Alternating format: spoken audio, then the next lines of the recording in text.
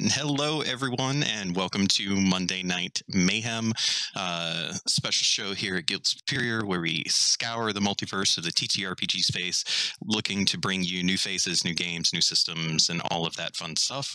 I am your humble host for the evening, Miko, otherwise known as the Okayest GM uh, on all of the socials. Uh, and I just have a couple of quick things to get through before we kick things off. Uh, we will get to all of the fun stuff tonight, and you get can get to see the other faces that you came here to watch because it certainly was not mine. Um, so yes, tonight we are running part three of my own homebrew world of Ysterra in a game called uh, The Lost Sands. There will be one more episode for this uh, uh, next Monday, where we uh, get to do the the final climactic conclusion. I'm looking forward to this game as well as that one. Um, so just to kick things off here, um, anybody that has you know watched any of our shows here on Guild Superior knows that we've always got awesome things going on, and whether it's uh, you know this show on Monday night, Guilds or the um, oh my goodness, my brain, I, Heroes of Greyhawk on Tuesday nights, uh, or the Shadesong Saga, you should definitely uh, be tuning in to all of the stuff that we've got going on. I'm going to talk a little bit more about that after or at the um, at the end of things. Uh, if you want to keep up on all of that stuff, though, you should join our Discord and follow us on the Twitters and stuff. Links are going out in the chat. Uh, I hope. Um, and uh, Yay, that is actually working. I'm glad because I forgot to test that in advance. Um, that's the great way for you guys to get involved in the stuff that we do. Uh, we always uh, every single person that you're seeing on the stream tonight um, responded to posts that we had in Discord and social media to get on the screen. So uh, if you want to get involved in the things we do, those are great ways to follow us up. Uh, but if you want to get involved in tonight's action, you can do that with bits. Um, for every uh, 100 bits uh, that you guys uh, uh, throw out there, um, you can pick a player or you can pick me if you think I'm doing a good job or just need some help. Um, and that individual gets uh, an advantage that they can use at any point during uh, tonight's stream. Um, I personally also want to give a quick shout out to uh, Tabletop Audio. Um, they are providing all of the music uh, for tonight's show, um, and they're awesome. If you want to uh, uh, if you want to bring their awesomeness to your table, you should absolutely follow them up on Patreon uh, if you want. But they also have free stuff as well on tabletopaudio.com. Uh, links are in the chat. Uh, they're amazing. And um, I'm also going to give a, a, personal shout out to uh, one of the players tonight, Beth. Uh, they created a map for uh, Albrath, which is the country that tonight's game is taking place in. That oh excuse me that was that is absolutely amazing. Uh, i'm going to show it off uh, in a little bit um, and uh, yeah thank big big hearts to, to beth. Um, yeah i think that's it. Why don't we uh, why don't we jump in on the action and let me introduce you to the rest of the crew here. Hey everybody. How you doing? Well hello. Um, Hi, sorry this Hello? this is the the wonderful cast that I have mm-hmm. tonight. Uh, let's uh, let's go around the table and let you guys introduce yourselves. Andrew, you want to kick us off? Yeah, I'm Andrew. I am a human person. Um, you can find my uh, socials in the chat. I'm playing Val tonight. Fun fact about Val is that she likes uh, samosas a lot. It's probably her favorite cocktail. she drinks them on Sundays with her grandma. Good to know. Good to know. What about uh, when she's in jail? Water, probably. You mean when grandma's on the menu? Yeah, is grandma in jail also? Because then the plan's on. Beth, why don't you introduce yourself, please? Hi, uh, I'm Beth, and I'm super excited to see if we get to meet Val's grandma today. Um, uh, you can find me on social media at Beth Maczko, um, both Twitter and Instagram. Um, yeah, and I'm uh, I'm playing Eyda, who um, had some experiences last time, uh, if if you recall. So hopefully we'll uh, dig into that a little bit. I, th- I think we might. I think we might. Uh, hey, who are you? What do you do? Where can we find you? uh, I don't know. I'm lost. Um, sorry. My name end up here? is. And how did your name and picture end up in the overlay? I don't remember doing that. No, I totally did that. I would have Kay in every single game I could possibly have, just so you guys know. I'd be so tired. Um, so my name is Kay or uh, Kaidan Cosmos. You can find me on pretty much any social there at that point. At this point, uh, I do all sorts of art from physical to digital. I play games, uh, you know, whatever, all sorts of stuff. Uh, today, I am playing Reeves Erickson, the displaced veteran. Uh, he is hired to bodyguard this group, um, but to what ends? Uh, he definitely managed to avoid answering uh, when pressed earlier in the um, little uh, library. So I don't know. Maybe he can avoid it again. Hopefully, fingers crossed. We'll see. We'll see. Uh, Will, you got some awesome stuff going on. I tuned into into it last night. You should definitely tell people about that. We have a few things going on. Hi, my name is Will. Um, you can find me on all of the social media at a Will M Scream. Um, you can more often find me with Live from the Apocalypse, the not-for-profit TTRPG studio, where we make actual play content like streams and podcasts to raise money for nonprofits and good organizations. We're currently raising money for the First Nations Development Institute, and we do a lot of things. So if you're not following Live from the Apocalypse on Twitch and Twitter, you can go ahead and do that. You can find all of our podcasts on your platform of choice at live from the apocalypse, including the Masks podcast Academy H that Miko is referencing, which we recorded last night. And that is me. Good. I play Walsh, uh, the pilot with a bit of a scoundrel streak. Awesome. Um, good stuff. Good stuff. Uh, why don't I actually take a second here and figure out? Yep. Uh, I'm going to do a little bit of a catch up so that we can kind of feel out where everybody is at uh, and let the audience know all of the good stuff. So we'll get back to your lovely faces here in just one moment. So let us discuss the Lost Sands. This intrepid group of adventurers has come together uh, to uh, make their way across the desert deserts of Albrath.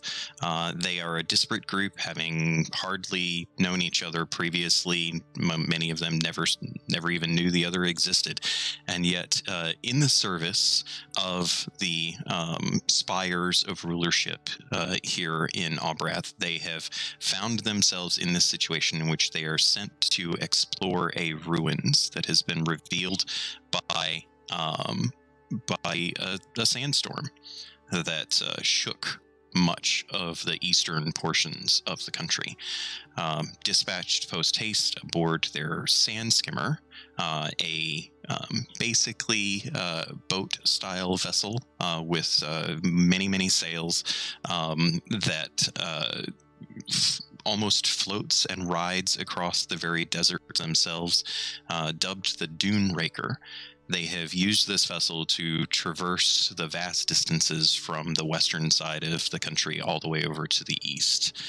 Um, on the way was not without its peril, where they encountered um, a certain um, group of uh, uh, beetle-like scarabs that were a little bit uh, larger than some might expect, uh, and uh, having successfully managed to prevent their deaths uh, in such an encounter, they did unfortunately not uh, prevent some serious damage to the Duneraker. But thankfully, that evening, after um, some perhaps insight from uh, a higher being, uh, they encountered a small desert dwelling creature um, looking a little bit mushroomy. Uh, but obviously carrying uh, a great deal of power within them.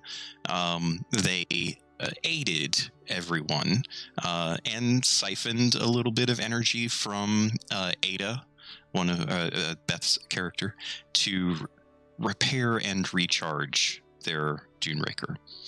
Uh, after that experience, they made their way once again, uh, eventually um, encountering the ruins after being chased also by a sandstorm that uh, left them all uh, in a virtual little tiny pocket dimension library that Eyda possesses.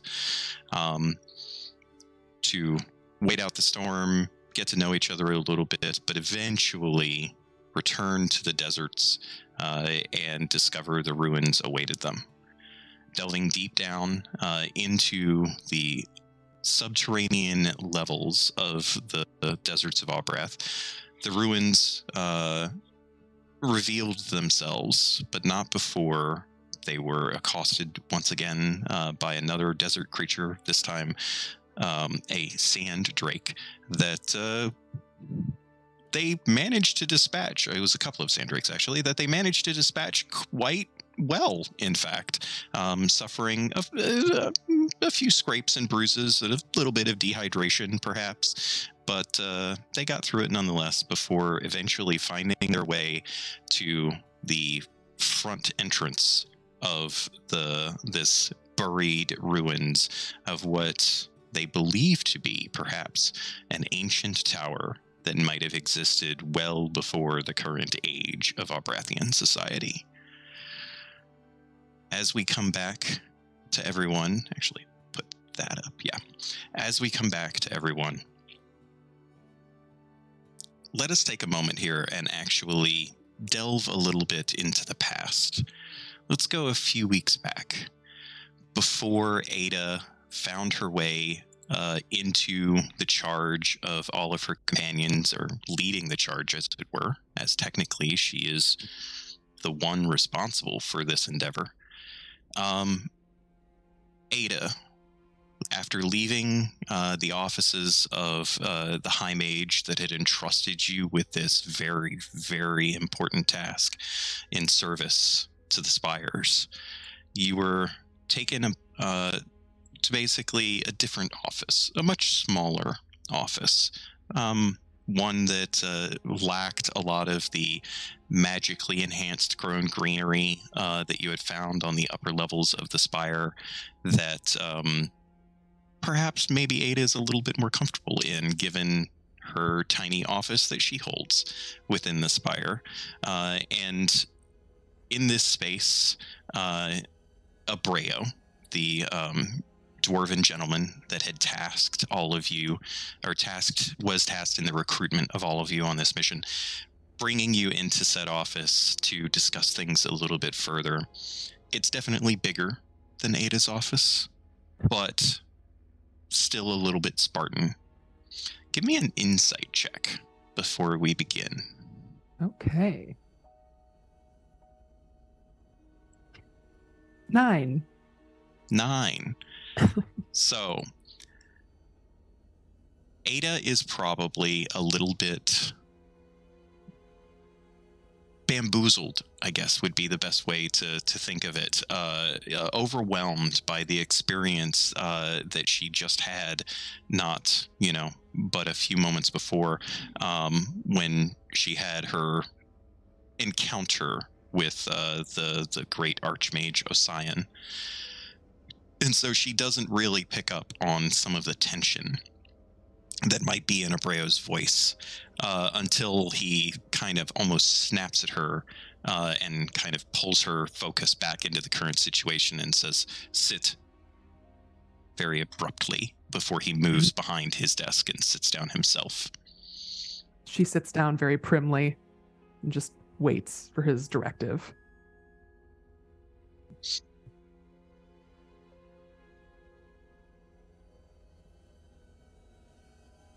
As um, as Eyda sits and starts taking in the situation, and Breo just sits there staring at her, and she starts to get a little bit uncomfortable.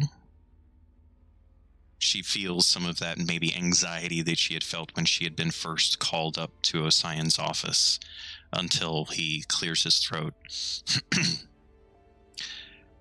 this, just so you know, young Eyda. This situation is one that um, is very important, not just to the Spire, but very personally important to Osian. I hope you understand the significance of such a request that he has made of you. Yes, absolutely. And I will do everything in my power to keep things on the right track, to handle everything with um, all of the care and respect that is represented in the spires. Very good. Tell me, what do you know of the first age of Albrath? Um, a, a fair amount. Um, what do you think, Miko? Uh, as far as I mean, she would I mean, probably know as much. she would probably know as much Yeah. as most historians know in Albrathian Mhm. society, and she certainly knows well more than most Albrathians. Um, but I think Eyda would also have the wherewithal to understand that she probably only knows a tiny scratching of the surface of that Mhm. history because it is far lost to time. Like she knows that it occurred somewhere between eight and ten thousand years ago. Okay. Um, but there is no calendar reference for that time that anyone has been able to find. There, there's a calendar, but no one knows what it means. No one knows how it tracks to the current calendar. Um, everything that everything that you have as far as that kind of age range of how long ago it was is based on magical divinations. Um, and she would also know, speaking of magic, that magic doesn't work the same when it tries to divine that history.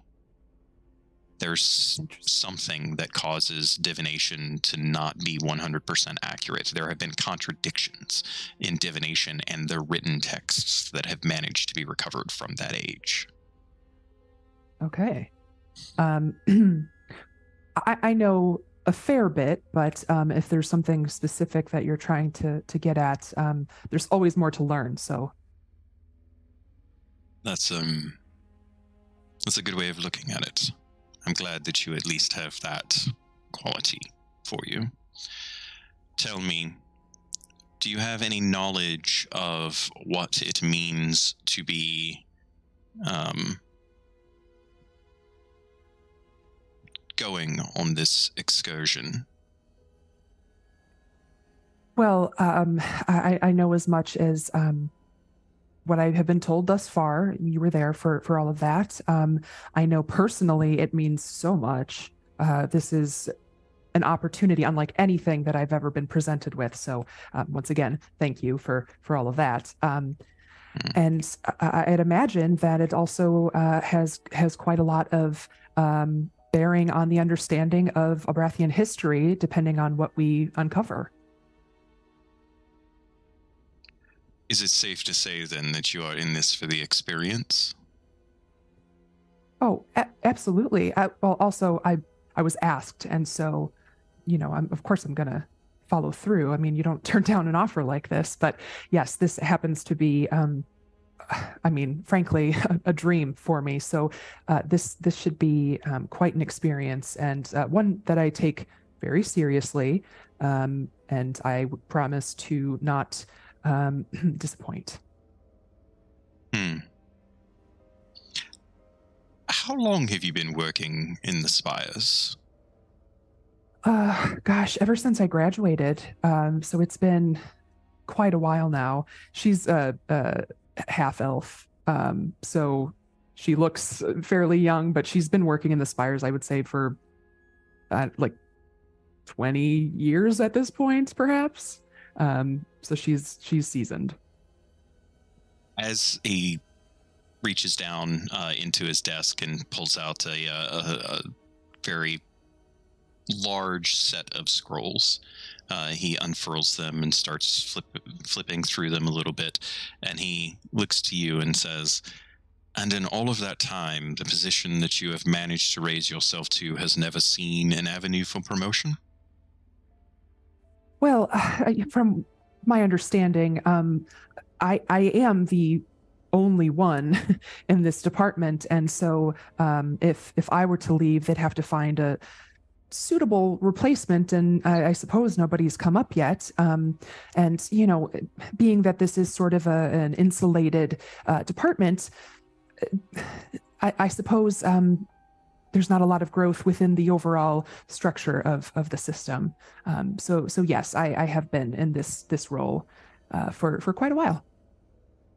And what would you say if I told you that should this excursion go well and you bring very good light to Osian, that we might be able to expand the department and perhaps place you at the head of it? Oh, um. uh, yes. Uh, that that would be fantastic. Um. Oh wow. Uh, I, there's so many things that I could do if I had more help. Um. Indeed. Yes. That would be just the dream. Wonderful. Then I do believe you understand my meaning when I say that any mimetic crystals that you can bring back to deliver to myself and Osian are dramatically important, not just for the Spire, but also for you. Absolutely. Yes. Very good, then. I believe that I finally have a good sense and understanding of you now. I, I, I hope it's all good. Um, and I, I hope you know that again, you can trust me to to take on this this job. And um, I hope to come back with just so much information and uh, and the crystals as well. Very good. You are dismissed then. Thank you. Okay, and she'll get up and like walk to the door and just um, look back again. Thank you. Just thank you and head out. As uh, Eyda leaves this office, uh, go ahead and give me another insight check, please. Oh boy. Six. I think she's just over the moon, like oh yeah. head just twir- swirling with ideas about that conversation. so many ideas um if she has additional people i mean her mind is just just pinballing all over the place so uh yeah she she knows nothing beyond that Awesome. Uh, and yeah, let us come back then uh, to where we more or less left off uh, at the end of last session. The party itself, uh, having delved into to the ruins below um, and battled their way through the uh, experience, as it were, with uh, the sandrakes, um, feeling a bit de- dehydrated themselves, um, bearing witness to the uh, where is that? Oh shoot! I think I'm actually missing some art. Now I'm ha- unhappy. Um, Oh no. eh, yeah, that's okay. I can find it the hard way. There we go.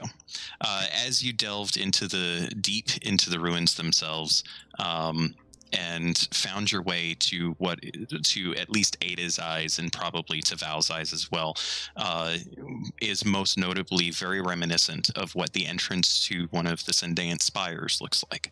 This being ancient and definitely ruined from time and the activities that occur, uh, subterranean activities of the deserts. You all sat down uh, to take a rest and potentially recover from your dehydration. Are you guys taking a long rest or a short rest? Because you certainly have that luxury. It was getting into the evening uh, when you had encountered the drakes anyway. So, We had chatted about it. I know we wanted to move further in, but I think we had decided short rest. I don't remember. Correct me if I'm wrong. We're exhausted, right? Do we still have the point of exhaustion? you do still have that point of exhaustion. I so I think maybe we should try to find a safe place to take a long rest. I have a potion of watchful rest, so I can stay awake. I might not be the most observant, but I can stay awake and still get the benefits of of uh, a full night's rest while you guys um while you guys actually sleep. We want to do like that? a plan. yeah, yes. sounds good to me. Yep, there's definitely plenty of space uh, for you guys to to set up a modicum of a camp uh, down here near to this entrance. Uh, you're you're far enough distant from where you had encountered the sandrakes. Um, and that you believe that you would know if anything was coming that path um, or from that path, and there's not really much in the way of offshoots from this. So it's I'd either go inside and maybe look around a bit first, or just rest here. I, I mean, w- whatever is best for the group. Um, I am very curious, a little, little tired, but well, uh, how about uh, some of us can can get started setting up the the camp. Uh, a couple of us can go scout uh, just to make sure that this area is safe. Um, Well, We are So- in Valriel's world now. You know, I'm exhausted. I wouldn't mind taking a, taking a sleep. I am curious too. We're we're this is the beginning. You know, we're about to go in, and I think going in well rested makes sense. You're right. It, it might be a good idea. And Walsh can read us another one of his poems. That's right. It would be my pleasure. as you all sit down, uh, scouting around a little bit is no problem for Reeves uh, at all. Um, you can go ahead and uh, use your passive perception or give me a perception check if you like. Uh, either way, um, the rest I'll of use you. my passive. Sorry, what is it? uh, it's seventeen. Perfect. You uh, you feel pretty comfortable uh, in this space. Um, you go even go so far as to go back and check on the um, the the sandrakes, uh, and you find that they are already starting to decay, which is actually normal for a sandrake because they are comprised. Actually, they are magical creatures that are comprised mostly of sand, um, and so you're able to kind of suss out that at this point there's probably not any more in this little group uh, and your experience um, lets you know that they often are just in pairs. Okay. so um, as you come back to the entrance to, to join the others you find that everybody else has mostly set up. Their their bedrolls uh, and such. There's no need for tents down here thankfully. Um, and you make your way uh, more or less into a, a, a relatively restful state. The dehydration is still obviously impacting you some, but not enough to impede your ability to rest. Well, that's good. okay.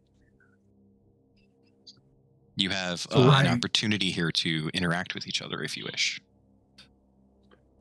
Well, I call this one Ode to the Kiss of the Sand and the Gentle Wind Upon Your Face. That's a long it's a haiku. I don't have one prepared, but Walsh performs it. Come on. I mean, I could I could try to come up with one real quick. Let me think. Uh the let me see the the kiss the kiss of the sand along along with the wind against your face feels lovely. That was a poem, Walsh. the title is about as long as the poem itself, but Yeah. uh, I can Yeah, well- appreciate the arts. It's Yeah. an it's a it's a statement, isn't it? It's an artistic statement. Is what you that is. Really- You really let the concept sink in uh, at, because you're sort of, you know, experiencing it twice uh, with the, Yeah. the title and then the poem Right? itself. No, yeah, exactly. Repetition. yeah. Yeah. Very nice. It's sort of a subtle commentary on the the madness that sinks in after you've been in the desert for too long. And the beauty within the madness. Yeah. You get it. Reeves understands. Excuse me. Um, Um, Um, so for your amazing poetry, uh, Will, uh, the the Flan Blackmore has just donated bits to provide you an advantage that Incredible. you get to use. Just Will, Fantastic. not the rest of you. Just I Will. mean, fair. I, Gosh, She deserves that. Absolutely. Incredible. Very nice. Thank you so much, uh, Flan. I am Super certain appreciate that it. that will become handy for for Walsh here soon. Uh, before before we go to sleep, uh, Val's gonna open up her geode again to get a 3D map of the area, and is going to try her best to kind of um, sketch a little paper version of the map for everybody in case we get lost. Cool. Um, give me an Arcana check, please.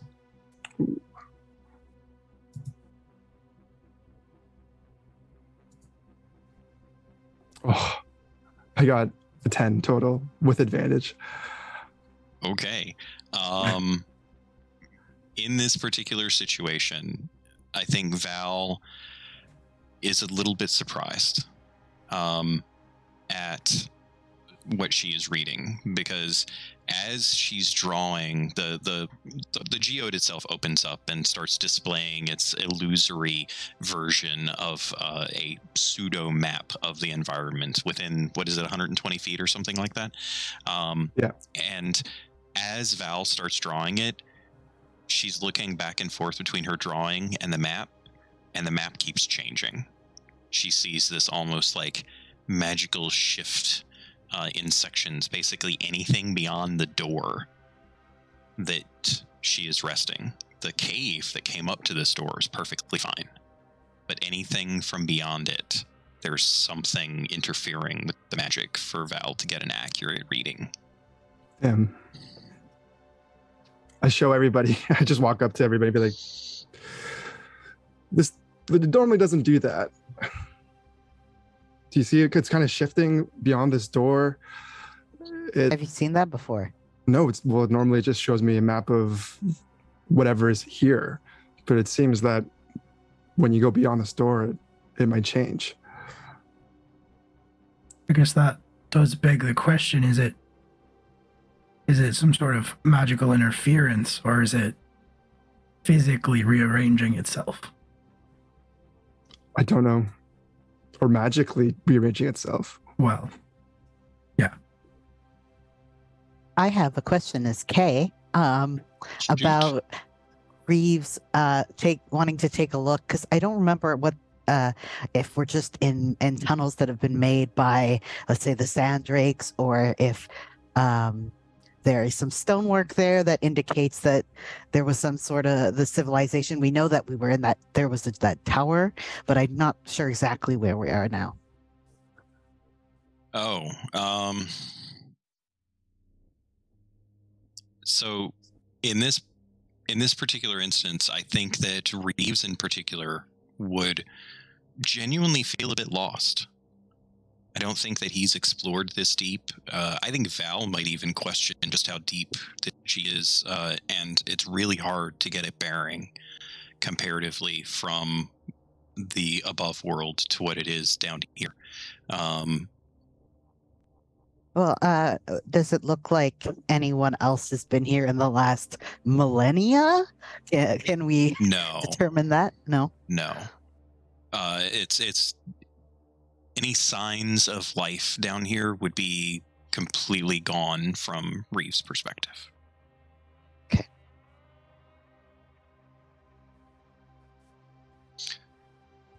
Sure, there's very uh, ominous droning and echoing as we are just hanging out in here. um, as we're kind of you know settling in at some point um, Eyda will go over to val for a moment um,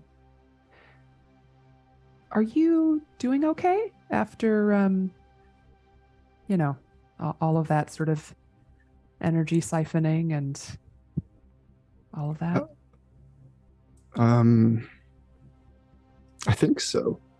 Um, why? Why do you ask? I just um I don't know. Uh it's kind of a surreal experience and that can be a lot to handle. Um I am I did. I did feel something in your library when we were in there. Really? Yeah. Like what?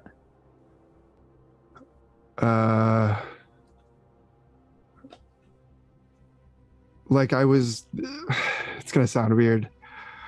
Like I was close to an ascendant of some kind, but not. Really? Oh, that's Yeah. interesting. Okay. Huh. And okay, just for my understanding, what happened exactly? Like when I know you said that you sort of experienced something while you were unconscious. Uh, is that did you do you have any memory of what that was or Um, I don't remember honestly. okay. It kind of just happened so fast. I felt comfort. I felt felt like I understood. I felt understood. Um, and then it was gone. Okay. All right. Well, I'm I'm glad that it, you know, was um, a positive experience uh, overall. Um, yeah, just I just wanted to check on you, and she'll sort of scuttle away before any other Uh, conversation can happen. okay. Bye. But bye. Uh, As- I think as oh sorry will just give me one second here as Eyda starts to to scuttle away um she feels and she feels as if her mother just looked at her with a tisking expression She starts walking away. She stops and turns around and goes back and sits down next to Val again. okay, so here's what I think happened to you because it's kind of what happened to me. Um, I I think you're right on the money. Um, that you did in fact encounter an ascendant.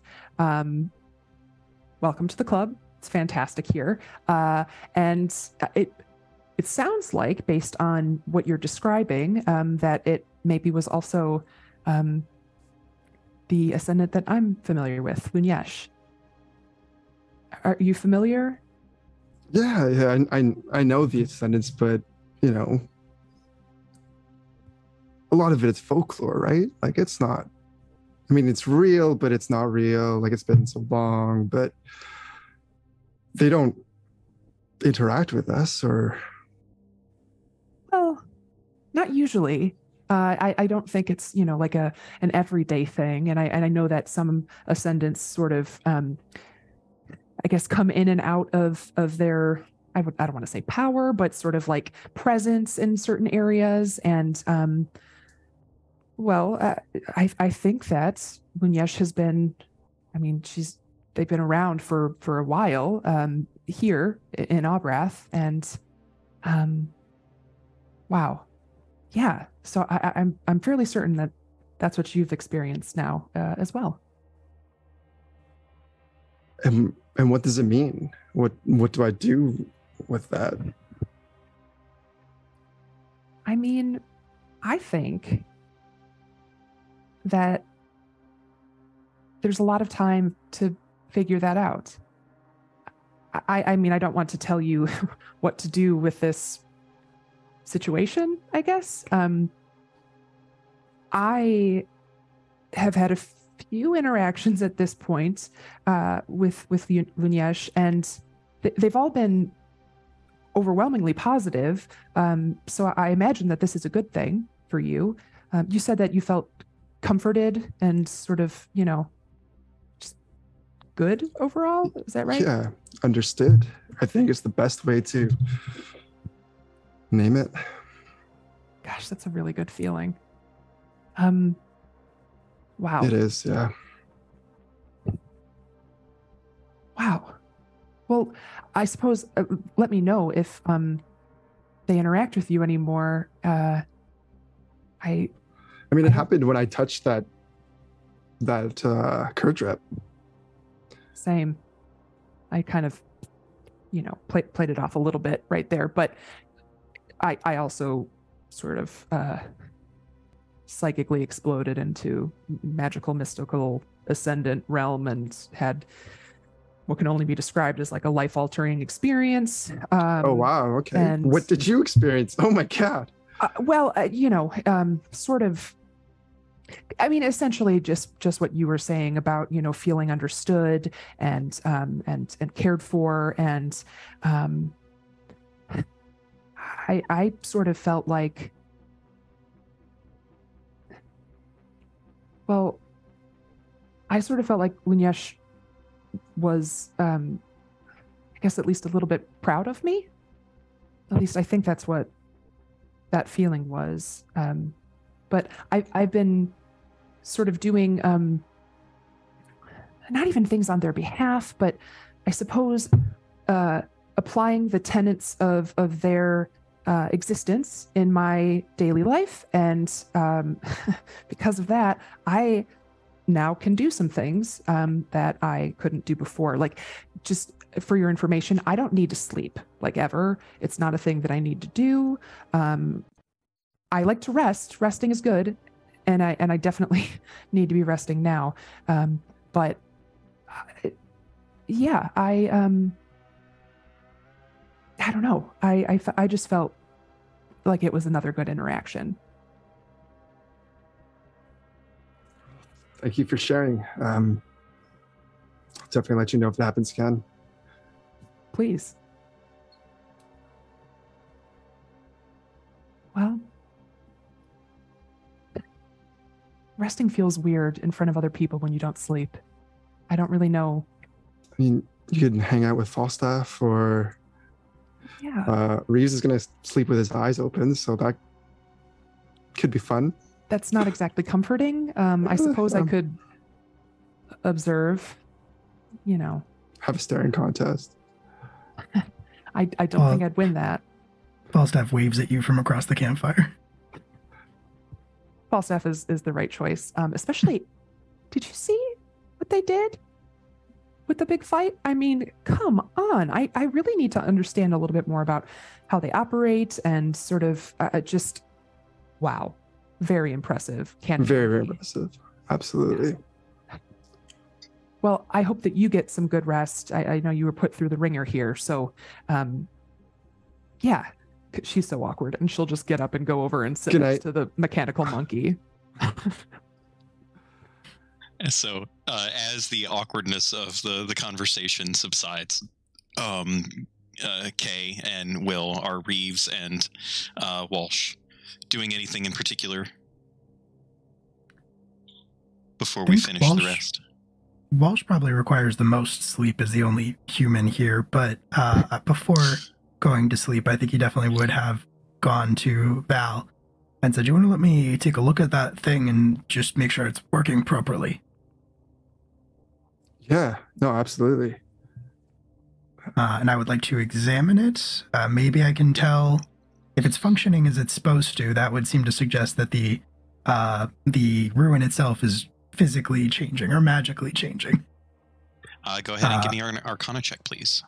Cool. I'll do that. Uh, 19. 19. It is functioning perfectly. Um, however, I will say that with the 19, and because you're, are you expertise in Arcana or just proficient? Uh, neither, actually. Wow. Okay. Yeah. Um, I, I think the idea was that he, he is very good at building things, but not necessarily understanding the magical aspect of them. okay. Okay. I can, yeah, I can buy that. Uh, I think in this in this instance, I think um, Walsh really picks up on the notion that it is functioning perfectly, and something externally is influencing it. Okay. All right. That makes sense. Cool. Then, Doesn't know uh, what that is. Has no concept of what that might even be. But Right. Yeah, absolutely. He's uh I I'm picturing him he's like um the kind of engineer who works on cars but you know didn't go to school for it or anything like that. So, um he knows how it works, but not necessarily why it works. And he is going to bring the device back to Val and hand it over and say, um it seems to be working, but there's some kind of uh, interference that it's picking up. So, at least I think the place is uh, in a fixed position. but I still So- am not sure exactly how reliable it's going to be. Okay, fair enough. At least like if we go through the door, we're not all going to be transported to a different place, I guess. Yeah. No, I don't think it's going to drop out from under us. I don't Fair think enough. it's going to drop out from under us. We shall see. Uh, Kay, did you have anything for Reeves? I imagine that like uh he said like hey you guys you guys get set up uh, i'm gonna go scout and then he came back and no one set his stuff up so he's just been like setting him himself up for for when he is like oh i'm gonna be up all night uh like I watching, so I might as well be comfy. So he's just been spending a lot of time just being like, "Fucking freaking, it's fucking sucking." Yeah. If, if you'll if you'll allow me, Will, I think as you're doing that, um, Falstaff, uh, who is a very helpful in creature, like everybody else is a little bit distracted, right? But Falstaff sees you uh, and immediately just comes over and starts assisting Reeves Aw. in setting up all of his stuff because that's kind of his job for Walsh a lot of the time is to like help him and and fix stuff and like Helper you know, monkey. yeah, yeah, he's a little helper monkey, and I think he comes over and starts helping. Uh, and he's is he small sized creature or is he a medium sized creature? I forget. I think he's tiny, actually. Oh, tiny, even better. So like, I feel like. Uh, I mean, even ti- tiny is still like you know almost two feet tall, right? Or can be as much as almost two feet tall. So I feel like as he comes over and starts helping, there's instances where he, he like is he like fluffs out the bedroll and it like falls on his head and he's like a little tiny ghost monkey running around for a Love it. second and yeah I'll be like, "You're the best part of this team. You're the you're the most valuable. You kill things. You you uh, help things, help us get things done. You're the best." He's going to get his own animated spin off from this game.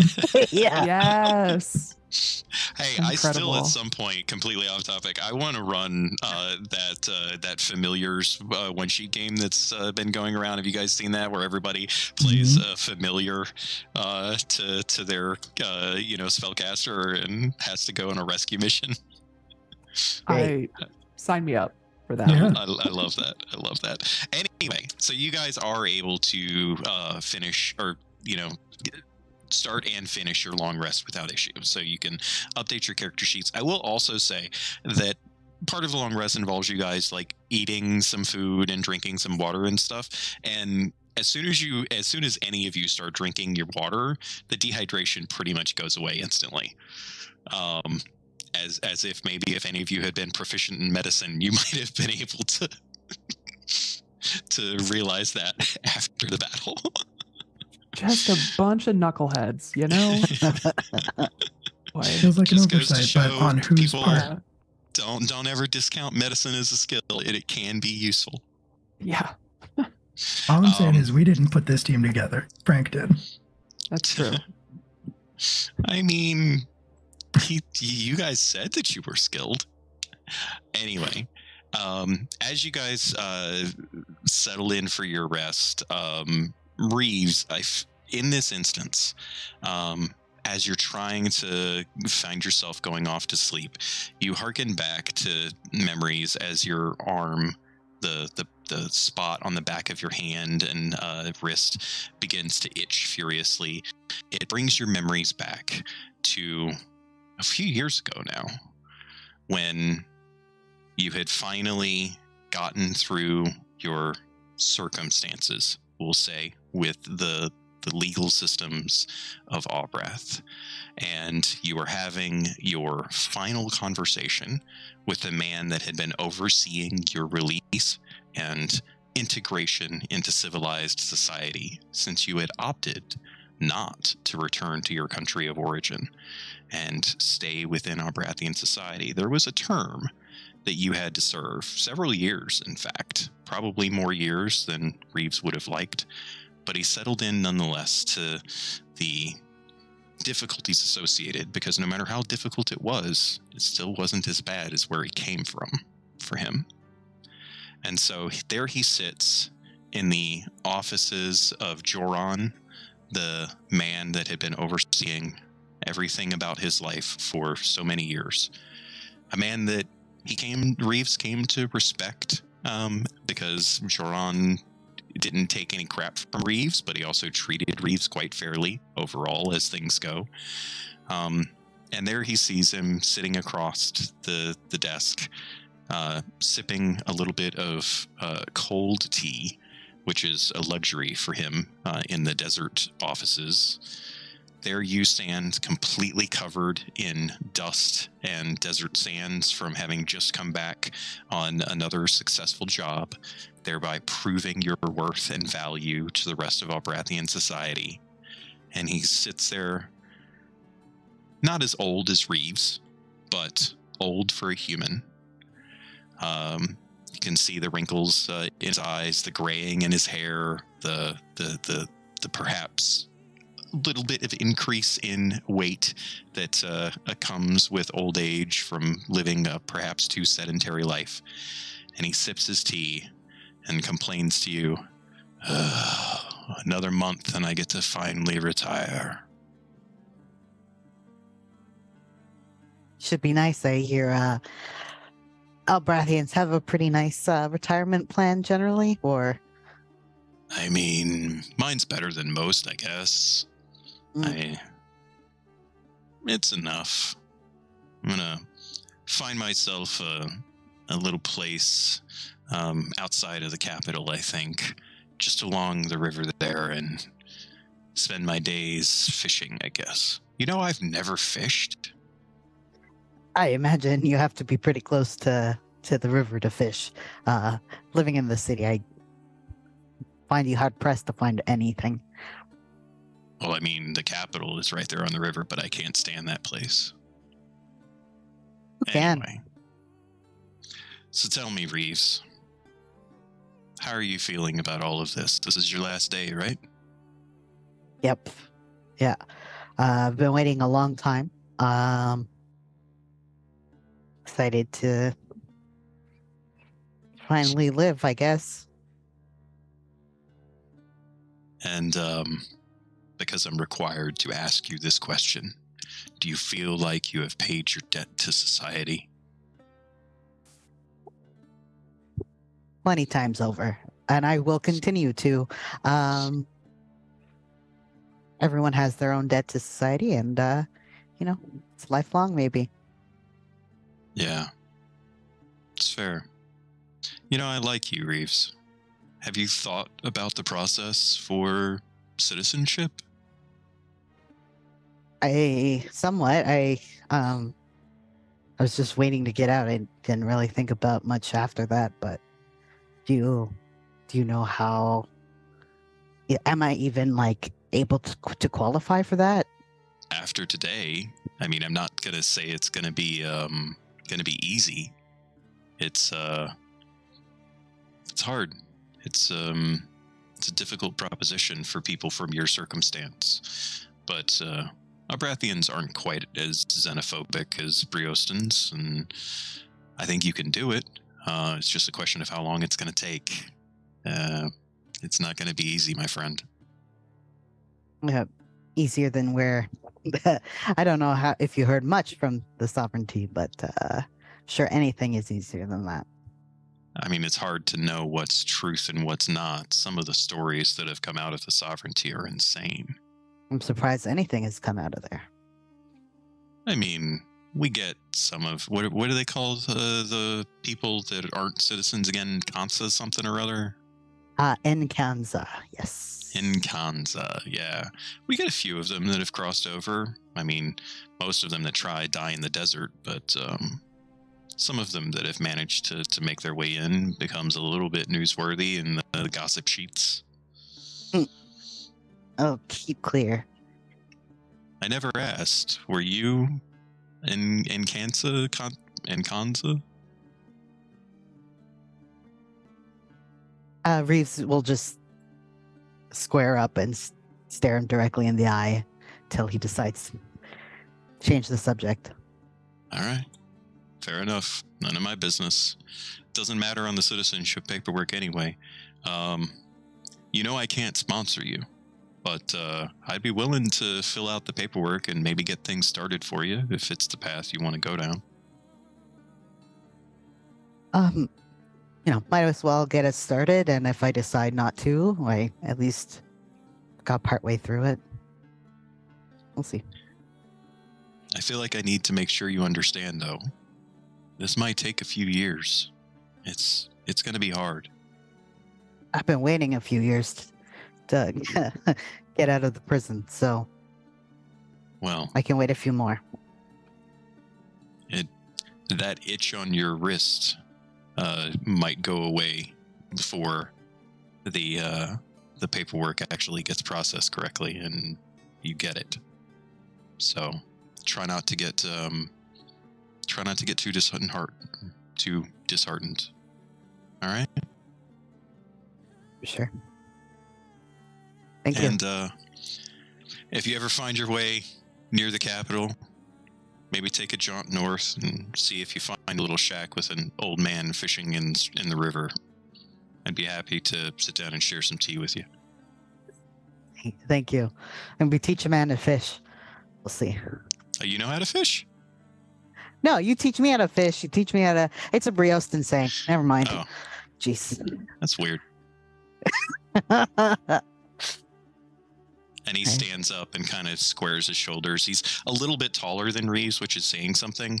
Um, uh, and he's certainly heavier than Reeves. Uh, but um, he squares up and, you know, has this uh, bit of respect about uh, his stance as he extends a hand to Reeves to shake.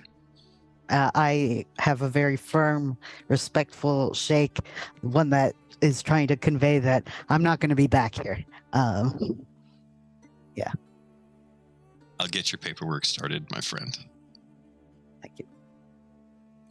and as we come back into the the moment and Reeves contemplates how many years ago that was and he's still going through the process does he feel disheartened does he feel like maybe this job might actually be worthwhile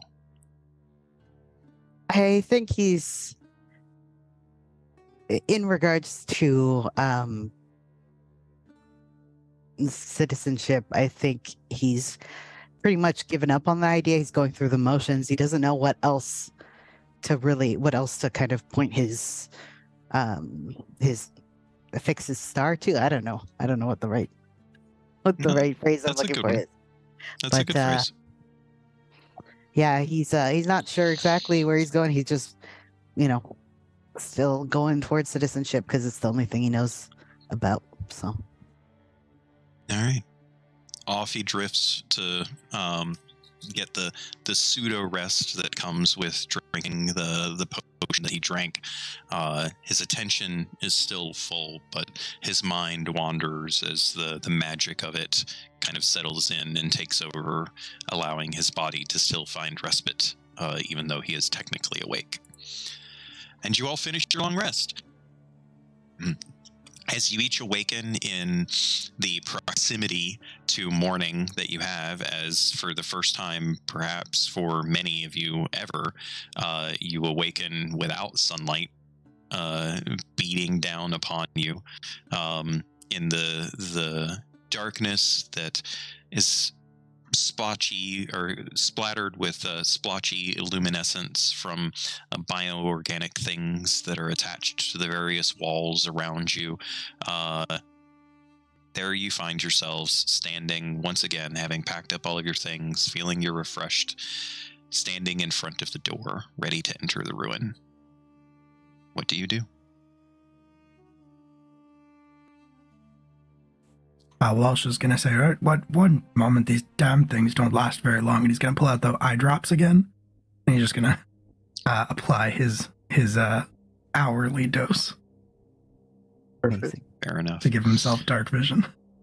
At this point, I think Walsh, having used these now more than he's ever used them before, is probably starting to feel a little bit of burn in his eyes. His eyes are definitely looking bloodshot to to the rest of you. Um, he's a little bleary eyed from it, but after a moment, that clears away, and and he's able to see just just fine.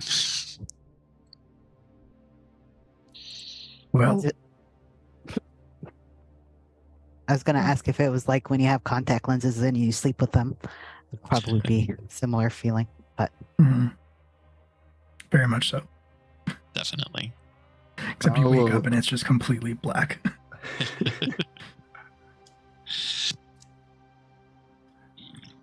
Val will walk towards the door Mhm. and kind of point at it and ask Eyda, Have you seen this kind of door before? No. It's I mean it's it's kind of like doors from the spires, but nothing this magnificent to Eyda. I mean, you'd think that. I mean, it's a it's a door. How differently can they all work? But uh, I certainly know better than that. I, I would imagine y- you've come across something not necessarily exactly like this, but Nothing know. this nice, you know? Uh-huh. I this is I've never seen anything this ornate down here before. Well, how do you usually go about deciding how to interact with something like this? What's your process?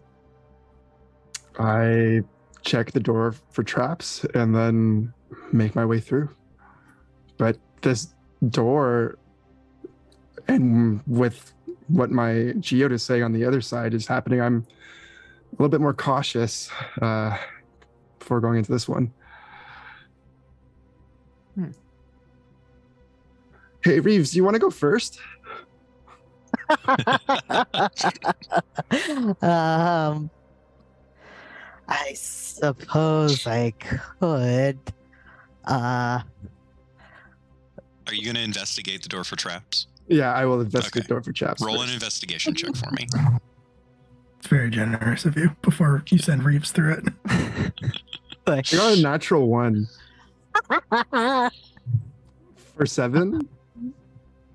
Yeah, this door is perfect in every way. It's well, also I it's also technically unlocked. Um,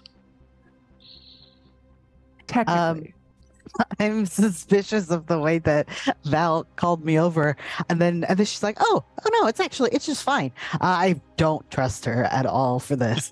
I I have heard a little bit about her um, from the grapevine, and I do not trust her. So I'm going to use my metal of muscle, hoping that maybe it's just like a spear is going to get thrown at me.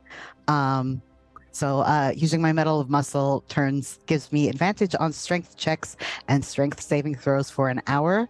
Once it's been used, it can't be used again, and then the thing becomes unmagical. So I'm gonna just push open the door or pull the door, whichever Uh, way. It's a push. The, the, it's a very large double doors. Like the, the doors themselves are almost 20 feet in height, and each side of the double doors is about seven feet wide.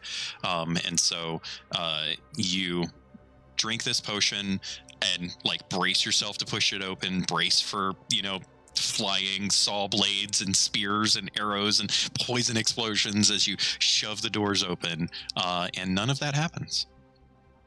Okay. And as you look inside, you see a very, very, very large chamber that is a combination of natural earth that you, that any of you with any type of uh, intelligence or knowledge are able to ascertain is probably a result of like shifting tectonics and things that have occurred down here um, over the many, many, many centuries that this has existed. Um, and very, very cracked and almost turned to rubble fine stonework. Um, th- this combination of just ramshackle rubble and everything in your way almost gives you a sense of pause as you look through the space and you see no immediate danger. The the cavern itself um, uh, easily goes beyond the edges of your dark vision, uh, which may be a result of the the tectonic activity that resulted in this portion of the tower having fallen so far beneath the earth and it's just been pulled apart uh, in so many ways. Um, but you see no immediate dangers. How's it looking? Um, You're all standing there right behind him. So Oh, yeah. I'm with the trained eye, though. I mean, I'm gonna sneak into the room and and try to um get a look around. all right, give me a perception check and a stealth check, please. Okay. And remember, you can always use your passive for stealth for, for perception if you wish. Uh, my stealth was 18. Excellent. and I have expertise, and my Uh, perception also 18, also with expertise. Amazing. So, those of you that are watching Reeves uh, see a man who is very practiced uh, in trying to sneak up on prey. Uh, and he immediately takes a stance and walks with near perfect silence, uh, stepping through the archways. As he steps through, Eyda and Val, both of you catch the faintest glimmer of a magical light that kind of silhouettes Reeves for just the briefest of moments. You can both roll arcana checks if you wish. Yeah. 22. Amazing. 16. Okay. Um, so Eyda is able to ascertain almost immediately that that was some kind of protective spell uh, or protective magic that was triggered uh, in stepping through that did no harm to Reeves. Okay. Reeves, can you hear us on Reeves. this end? Has n- it does not turn back to look at you. Reeves, you cannot hear any of this at the moment. Okay. I, I'm probably correct then. Um, Reeves just walked through a magical uh, portal of some kind or um, wall, I, I guess, and uh, now he can't hear us, and I don't know what the effects of this will be. So um, that's where we're at. Who's next? Oh, we're we're all going through it then. I mean, it's the way forward. I'll go. I'll go. And she'll just take me through. Uh, as Eyda steps through, I need for her to make a charisma saving throw, please. Okay. Am I just not charismatic enough to have? Not related. Uh, it's a 26. 26. Uh, she feels in her mind a attempt at divination to ascertain her purpose. She has no concept of what the source is, but she understands intrinsically that it was her innate magic that set this off. It doesn't bar her from entry. She Mhm. feels the same protective ward kind of wash over her, just the faintest little bit. And if she did not have that that innate magic that she possesses, she wouldn't be able to, probably wouldn't have even noticed. But she steps through without harm, and is fine. And as she steps through, she notices now that there is a distinct difference in the sound of the two spaces. There's a feeling that comes over her as she steps through. Something more magical about this place than anywhere she's ever been in her life. And she's been to the central temples. Oh, wow. Uh, Reeves? Are you feeling Reeves this? hears. Uh, I, I guess I snap to her to it, uh, feeling. Um, Just a just a, a whole lot of magic, just all around. I close my eyes and talk to my ranger senses. I feel nothing. Is that, is that about right? No, that's not true, actually. When he refocuses his efforts to not looking for things that are meant to harm him, when he opens up his senses in the ways that, you know, his, um, the magical essence, when he starts actively looking for something more magical, as he is trained to do with his Gloomstalker abilities, he f- starts to feel a faint inkling of what Eyda is indicating. But then also he feels something else. He feels a rumbling underneath of his feet, very faint. Eyda does not pick up on this, and he Oh, feels boy. as though it's as though it's getting stronger. like uh, I'll point to our feet there's something coming, um, and I'll look at the others and um, I'll make the gestures that everyone knows for something underground is coming. Um, and that's that's what that looks like. yeah. I figure it's some sort of a worm, another sand drake, something. Okay. Um, Sure, fair.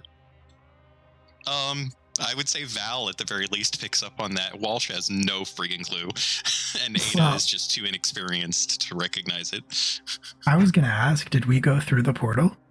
Uh, no one has gone through a portal. Uh, uh, okay. Walsh, Walsh, and Val are still standing. Uh, they have not walked through the doors just yet. Right, right. Okay. Uh I think we're uh, Walsh is gonna pause and without looking at Val is gonna say Well, if we were gonna break contract and run, now would be the time.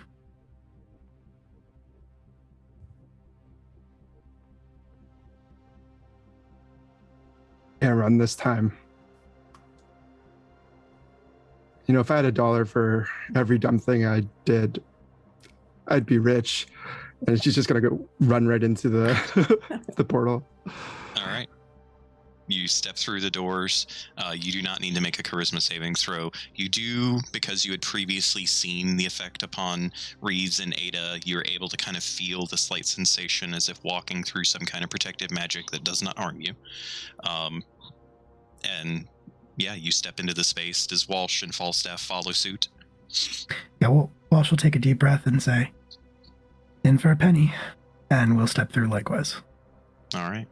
Uh, as Walsh and Falstaff step through the space, all of you begin to now feel the slight rumbling sensation beneath your feet. Does um, anyone I, do anything in response? I am going. Is is there anywhere that any anyone can get up, um, or any large rocks they could stand on? And Yeah. I want to use my pre, um, primeval awareness. Awareness? Yeah. So as an action, I expend a ranger spell slot um, to sense whether any aberrations, celestials, dragons, elementals, fae, fiends, or undead are present within one mile. Uh, there is a, the strong presence of one of those beings coming towards you from beneath your feet rapidly. There is plen- also there is plenty of rubble around and debris for you guys to climb up upon without having to roll any checks. It will reduce your movement speed because it counts as difficult terrain, but you don't have to worry about rolling any silly like athletics checks or anything. Uh, if you want to jump up on platforms and you know pillars and stuff, we'll get into that stuff. But there's plenty of other things that you could get off of the floor, as Reeves is suggesting, if you wish. I'll cast Featherfall on everyone. Uh, Uh, Okay. I've been in Walsh- cave-ins. I don't Yeah. know if, if the ground is rumbling. I'm I'm assuming it's we're falling. Uh, Walsh is not going to try to like do anything fancy. He's just going to try to get his feet off of the ground itself and into a position. Um, Falstaff, who can fly, uh, is kind of just going to hover around or at Sure. least circle overhead. Nice. Uh, and Eyda.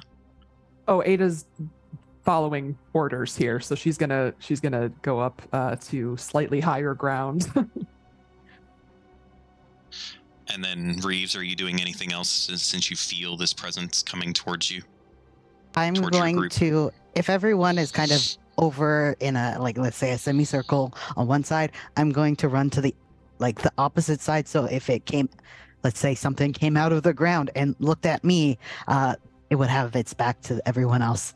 Uh, I couldn't Perfect. So yeah, feel them. you you go rushing further into the room.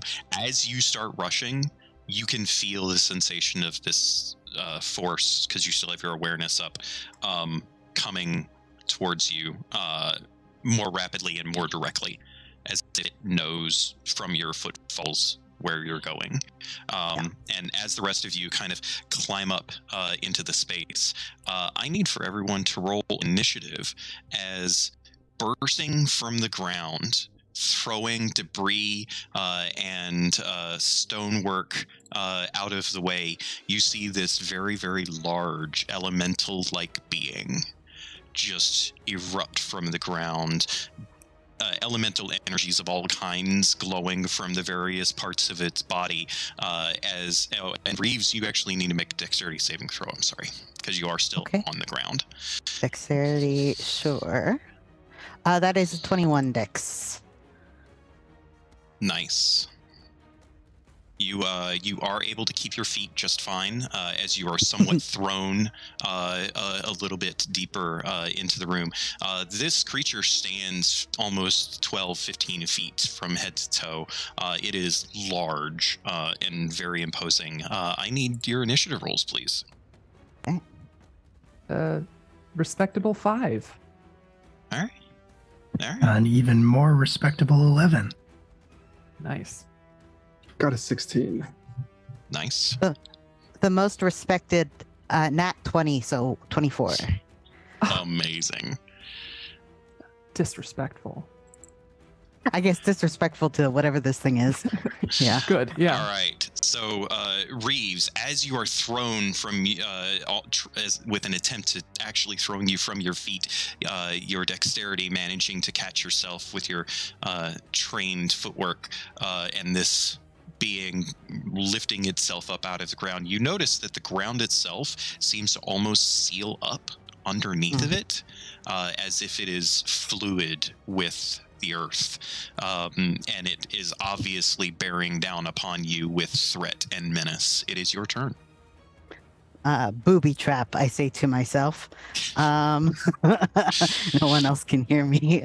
Uh, and then uh, I guess I'll I'll take out my sickles and uh, I'll do a um, a Zephyr strike on myself. So advantage on one weapon attack roll on my turn, and then if I hit that, then I get extra damage. Nice. I'm Oh. assuming that you're going to close in to engage with damage uh, Oh, to strike it. Okay. As you close in, uh, I will say that you can feel like hair on the back of your neck begins to stand up. Uh, you feel, oh, DM Dave throwing out some bits for everybody. Oh yeah. Uh, Thank you, that's, uh, Dave. advantage for everyone. So that's two that you have currently, Will. Just keep that in mind. Nice. Uh, thank you so much, Dave. They're, they might need it. Um, uh, you can feel not only the hair on the back of your neck stand up, but you can feel this simultaneous waves of hot and cold kind of wafting off of it uh, that causes weirdness uh, as you reach out and strike it. Um, you got a 19, what was that? 19 to hit. Yes. Yeah. Uh, and this is your uh, the magical sickle. Yes. My sickle Yeah. plus one. You easily strike into it. Uh, go ahead and do some damage. Nice. Um, okay, so I'm going to favored foe it. I'm going to do I get sneak attack because I have advantage, Yes. even though it's on me. Nice. Yes. So that's a 1d6 plus this. That's terrible four plus 1d6. Three, and then I get a d8 from Zephyr Strike. Nice. Which, um, so this is just rolled really shittily. That's Um, all right. What kind of damage is Zephyr Strike? So Zephyr Strike is force damage. Okay. Um, Yeah, and then I guess the other fine. would be slashing, piercing. Slashing. Yeah. Yeah, you you cut into it. Uh, you tear a chunk of earth uh, out of its thigh, um, as like it's hard for you to reach much higher than its waist. Uh, but uh, yeah, you tear a chunk out of it. Do you have anything else, or you, another attack maybe? Uh, I think I do because of my rapier. I get extra 10 feet, and I think I get a second. Um, okay, so I will hit again. I'll try to hit again with my moonsicle. That is 23 to hit. Yeah, that hits. Okay. And then that's another four slashing. So All right. Every little bit, man. Every little bit. Uh, yeah, you you slice into it a couple of times. It doesn't seem overly phased by your strikes, uh, as it seems more focused on your presence than anything else. Uh, that brings us to Val. You're you're Um, currently like up a little ways. All of you, the the space that you're in. You're probably all approximately 30-ish feet uh, away from it, with Va- or with uh, Reeves just on the other side of it, as he had planned. Okay. Um, is there any cover or rubble or anything that the Val could kind of get a bit closer, but not too close? And Uh, And yeah, there's there's plenty there's plenty of that in this space. You wouldn't even really have to move from your current spot because you had all kind of climbed up. Um, but you would need to make a stealth check. yeah, absolutely. I will then just take two shot or take a shot with my uh, short bow. Do you want to do the stealth check first? To No, I'll hide after I shoot. Okay, I, gotcha. I assume I get advantage because Kay's in, engaged. You don't get advantage, but you do still get your sneak attack. All right. Um, I'm just gonna shoot. I feel like I just shoot Go for it. right away. Yeah. Do it. That's a nine. Nine unfortunately misses. Uh, your your arrow from your short bow just goes whizzing uh, off to the, to the side, uh, a fair decent bit off from your mark. Damn. I will hide. a Give me give me a stealth check, please. A little embarrassed. It's a ten. Okay. Uh, you don't feel very confident in anything that you just did. Yeah. Just throwing that out there. Pa- panic cast, feather fall, totally Yeah. whiff a shot, try to hide. yep. Uh, and that's going to make it uh, the elemental's turn. Uh, so as it is looking at you, Reeves, very much focused on you, doesn't really have a sense of the others just yet, doesn't seem to care. Uh, it's going to uh, first let loose a cold burst. So um, this aura of magical cold energy just wafts off of it. Uh, and since you are within five feet of it, you need to make a Constitution saving throw of DC 15, please. Uh, 24. Uh, great. Uh, uh, so uh, you still do take six points of cold damage from it. The cool thing Um, doesn't happen. I see. The, uh, right. As you feel this cold energy kind of uh, flow over you, you can feel your joints and your bones just start to, their muscles start to like stiffen up a little bit, but you like shake it off uh, and you are not impeded by it. But you don't feel like you want to continue to stay within proximity to this thing. Uh, Yeah, as fair. it then goes to bring one of its uh, one of its heavy um, stone fists down upon you. Uh, that is a 15 to hit, which I think misses you, right? Uh, that just hits, actually. Oh, okay. Uh, let's see. That is going to be 12 points of bludgeoning damage as it slams down upon you. Uh, and as it pulls its fist back, uh, you can see this aura of lightning, uh, electricity kind of form around its fist as if it's preparing to do something. I hate that. And it is Walsh's turn. So the first thing Walsh is going to do is going to he's going to say Falstaff. Let's light it up. And the little mechanical flying monkey is going to zoom to the other side of the cavern, find a outcropping of rock to lock onto with his uh, little tiny claws, and is going to once again sort of mode shift panels and gears and things are going to shift around on his body as the cannon barrel emerges from inside his chassis. And at the same time, Walsh is going to pull out the arcane firearm and like start to rotate through the barrels again. He's going to pause and he's going to say, Eyda, does fire work on this thing? She has no concept yet. I hope so. well, we're about to find out. And um, I'm going to do, I'm going to cast a firebolt through my arcane firearm. All right, roll to hit. All right. 18. 18 does hit.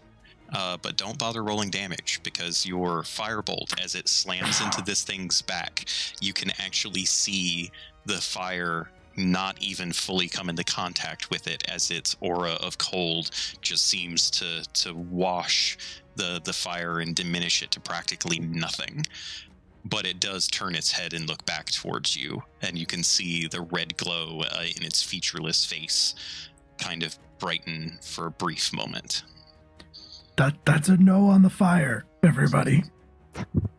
Uh, and then Falstaff is going to uh, that that that sort of hum of ambient magical energy is going to sound as the cannon in Falstaff's chest starts to glow, and he is going to fire a force ballista with like a out at this thing, and hopefully that'll do more if we can hit oh an artillery monkey fifteen. 15 misses Can I spend my poetry advantage? sure i'll let you do that Okay. normally i wouldn't because i told you the results but uh, i'm being generous Well, I got a lower number anyway, so that's all right as is fitting. That's okay. Uh, is that it for Walsh's turn? All right, that's all I got. All right, Eyda, you just witnessed the the fire elemental energies not work upon this elemental creature. What would you like to do? Uh, she does not like this. She's freaked out, and she'll just throw her hands up and uh, cast some Eldritch blasts. Let her rip. That's what that's what she knows how to do. Ugh. Okay. The first is a thirteen, so That no misses, dice. unfortunately. the second is a twenty-seven. Yeah, that's a distinctly better roll and does in fact hit. That is great. Uh, and oh, I have an additional genie's wrath damage of three points, so the total is eight points of Nice. damage. And- Ascendant's Wrath. Oh, that's right. Yes, yes, yes. Ascendant's Wrath. Yes. Um, how it has has it moved at all from where it is? Are we still about thirty feet distance? Okay. Yeah, you're still about 30 feet distance. It did not move. It, it right before you guys got to do anything. It definitely viewed Reeves as the the most uh, distinct threat. Okay. Um, I am gonna stay where I am for now. Uh, TBD on how that goes, though. We'll see. All right, uh, that brings us back to Reeves. Uh, he did not like getting squished very much. Um, I mean, I don't imagine so. There's not a ton that he can do about it. Uh, so just gonna, uh, I guess, just try to hit again. That's all I got. That is 18 to hit with my moonsicle, Bam! Slice, slice, slice. and that is five. All right. Anything else? Mm, I don't think so. Uh, I might uh, take a potion if I can. Bonus action to gonna- consume your own potion. Yeah. I'm gonna have just the potion of healing. I'm gonna just take nine. Cool. You you feel the the iron taste of these potions uh, that perhaps are not they're not ineffective, but there might be a little stale uh, as uh, as you drink it down. Uh, it nonetheless does start to bind up magically some of the wound from the uh, intense cold that had struck into you previously, uh, and that's going to bring us back to Val. You are not hidden, I am afraid, Val. You did not beat its passive perception. It knows that you are there, so you do not gain advantage on your roll, uh, unless you Fair wish to use something else that could do so. Great. So Val thinks that she's hidden, sitting on her, sitting behind a rock. Um, takes a deep breath. Um, you know, feeling embarrassed, but trying to trying to calm down a bit. Um, they're gonna pop up, and I will use steady aim to get advantage, That and then work. we'll we'll fire.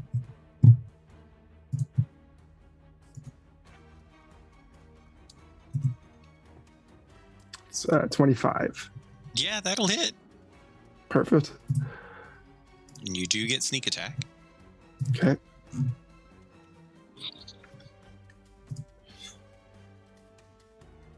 Seven plus eleven, so it's eighteen points of damage. Nice. Uh, yeah, it definitely did not like that strike. Uh, as it as the arrow slams into its back, and a huge chunk of elemental uh, earth just falls out from where the the arrow embedded. It turns and looks towards you, and does not turn back to face Reeves. She like shrank back under the rock that she was hiding in, or thinking she was hidden in. Okay. Uh, it is now its turn. Uh, I'm assuming you're you're done, right, Angry? Because you can't move if you use steady aim. So yeah, you're done trying to shrink yourself down to be smaller. Uh, Reeves, you all of a sudden feel the ground around you start to shake uh, as this thing dives into the ground. Uh, you do get an opportunity attack on it though. I will take it. Um, bu- bu- bu- bum. That's 14 to hit. That just misses. I am afraid. Um, well, it missed by two, uh, and so it as it, the the earth kind of opens up beneath it almost and just abs- it absorb it gets absorbed into the ground beneath uh, you can see a physical change in the the ground and the rubble as it moves up uh, and starts to burst forth from beside val. Uh, and it stands above you val. Uh, and uh oh actually wait no you're on the rubble uh, which is not just comprised of earth and stone. So I have to change that a little bit. It does still move away. It moves to within about 20 feet of you, diving into the ground, kind of appearing up beside on the uh, on the side of the rubble, um, and then you see the electricity form in its fist as it lashes a hand out towards you, and an arc of electricity starts to fly towards you to wrap around. Uh, that is a 19 to hit. Does that hit Val? Could I could I cast shield? I don't know. Do you have a reaction? Uh, yeah, I think so. I didn't use it. I'd like to cast shield. Okay. you cast shield. Does that mean that the 19 no longer hits? Oh, my math is bad. My AC is 19. Uh, I am afraid 19 still Damn. hits you then. Uh, as as you put up your shield, the uh, the lightning lash wraps around your shield, and then you feel it course as the electricity wraps around you too. Uh, you take 13 points of lightning damage, and I need you to make a DC 15 Strength saving throw, please.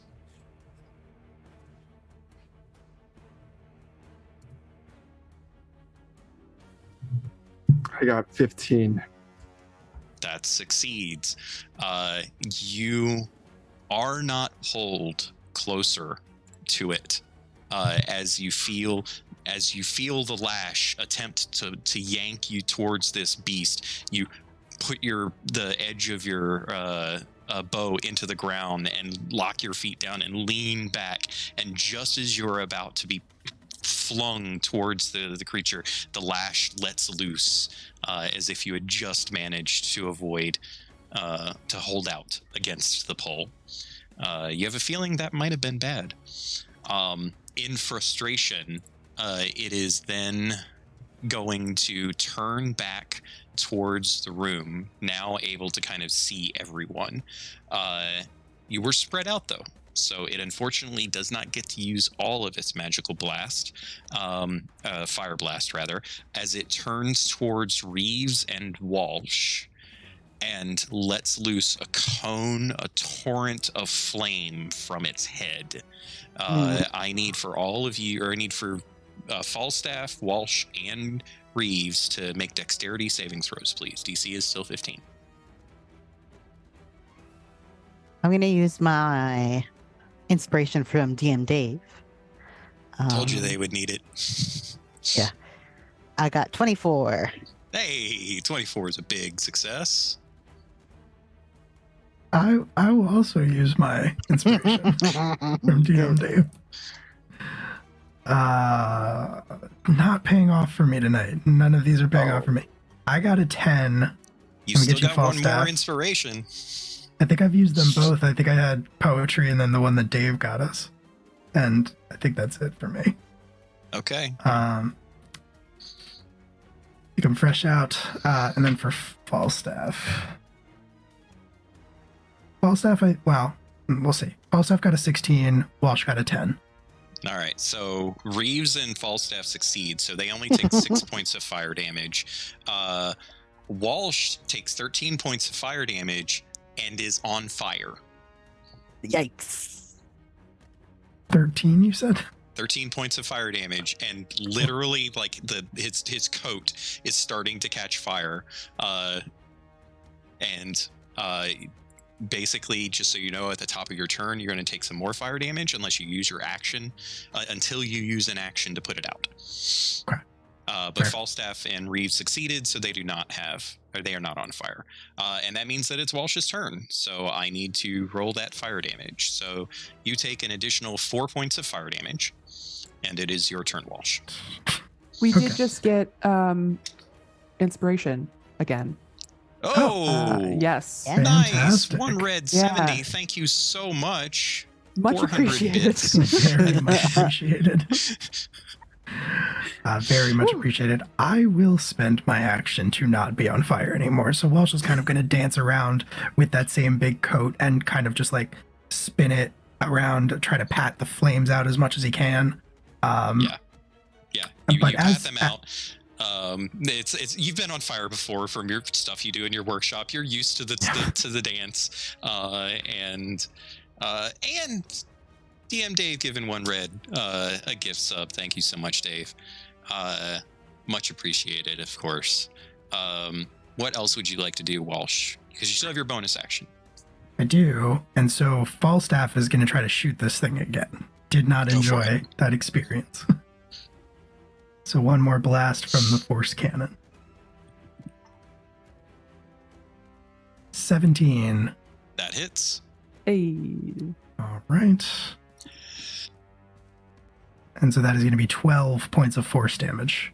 Nice. Uh, just so you guys know, it is looking rough. Uh, it now regards um, Falstaff as a fairly big threat. Good. Falstaff has so many hit points left. You don't even know. Uh, is that your turn? That's all I got. Yep. Eyda, you are up, madam. Okay. First thing she'd like to do is look around the room and see if there are any exits uh, that we have not, you know, the looked at entrance that you came through, and then further down the corridor, there is a, a few chambers that kind of go off to the to the center and the two sides. Mm-hmm. Mm-hmm. Okay. Don't love that. Uh how far away is everybody from this at this point? Is anyone like super close?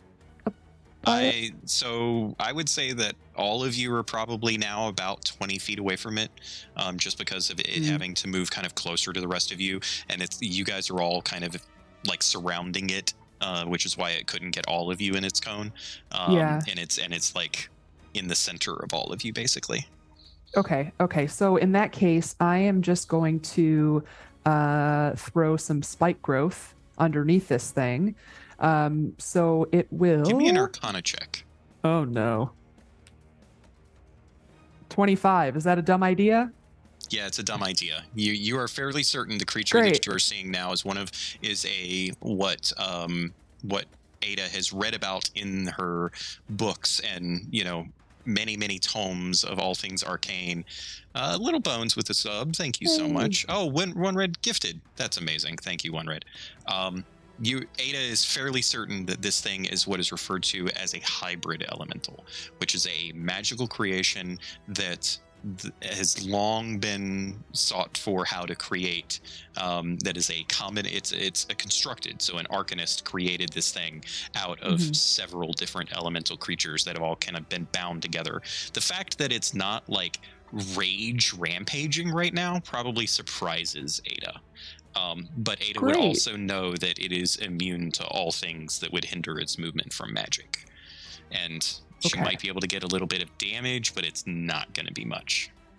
Perfect. Thank you. Uh, thank you, Eyda, for having more knowledge than I do. Um, okay, well, in that case, I am gonna just uh, throw some Eldritch blasts at it, uh, just because. Um, no, 16 misses, right? is that? 16 just hits. Hell yes. That is exactly its AC. All right, well, that's 12 points of damage for the first blast. And then the Nice. second blast is a 23 to hit. that also And hits. that'll be an additional 10 damage for the second blast. And then um, Eyda would like to, still maintaining at least 20 feet's distance from this thing, maybe like skirt around so she's a little bit closer to the, you know, Mhm. hallway with doors and stuff. And Gotcha. then um, as she's as she's like, you know, running her way over there, um, she'll just say, Are we fighting? Should we run? What are we doing? And then that'll be the end of the turn. I will say that in this instance, Reeves kind of gets the sense that you guys are doing some pretty serious hits on this thing, uh, Okay. and if you can keep this up, it's it's not going to last too much longer. Um, it is Reeves' turn, in fact. If you Does can avoid response for ya? dying, yeah, if you can avoid dying, we'll be fine. Uh, just a few nice hits from Falstaff, and we'll be fine. Um, you can, we could also run if you really want, uh, but I'm not. I'm gonna Zephyr Strike again. I'm gonna run up. Uh, it gives me an extra 30 feet of movement, so I can get to wherever it is. Yeah, you had more than uh, enough already. So And I think it gives me advantage on attack again. So I'll take it. So that is 24 to hit. yeah, Uh, so that's uh, seven slashing. Then on sneak attack, I get a d6. just so you know, Dave gave you an advantage, right? Yeah. By the way, Reeves. Oh, another one? Yeah. Oh, dang. Okay. Racking them up. Dave making sure you guys get through this encounter. Uh, yeah, I need to.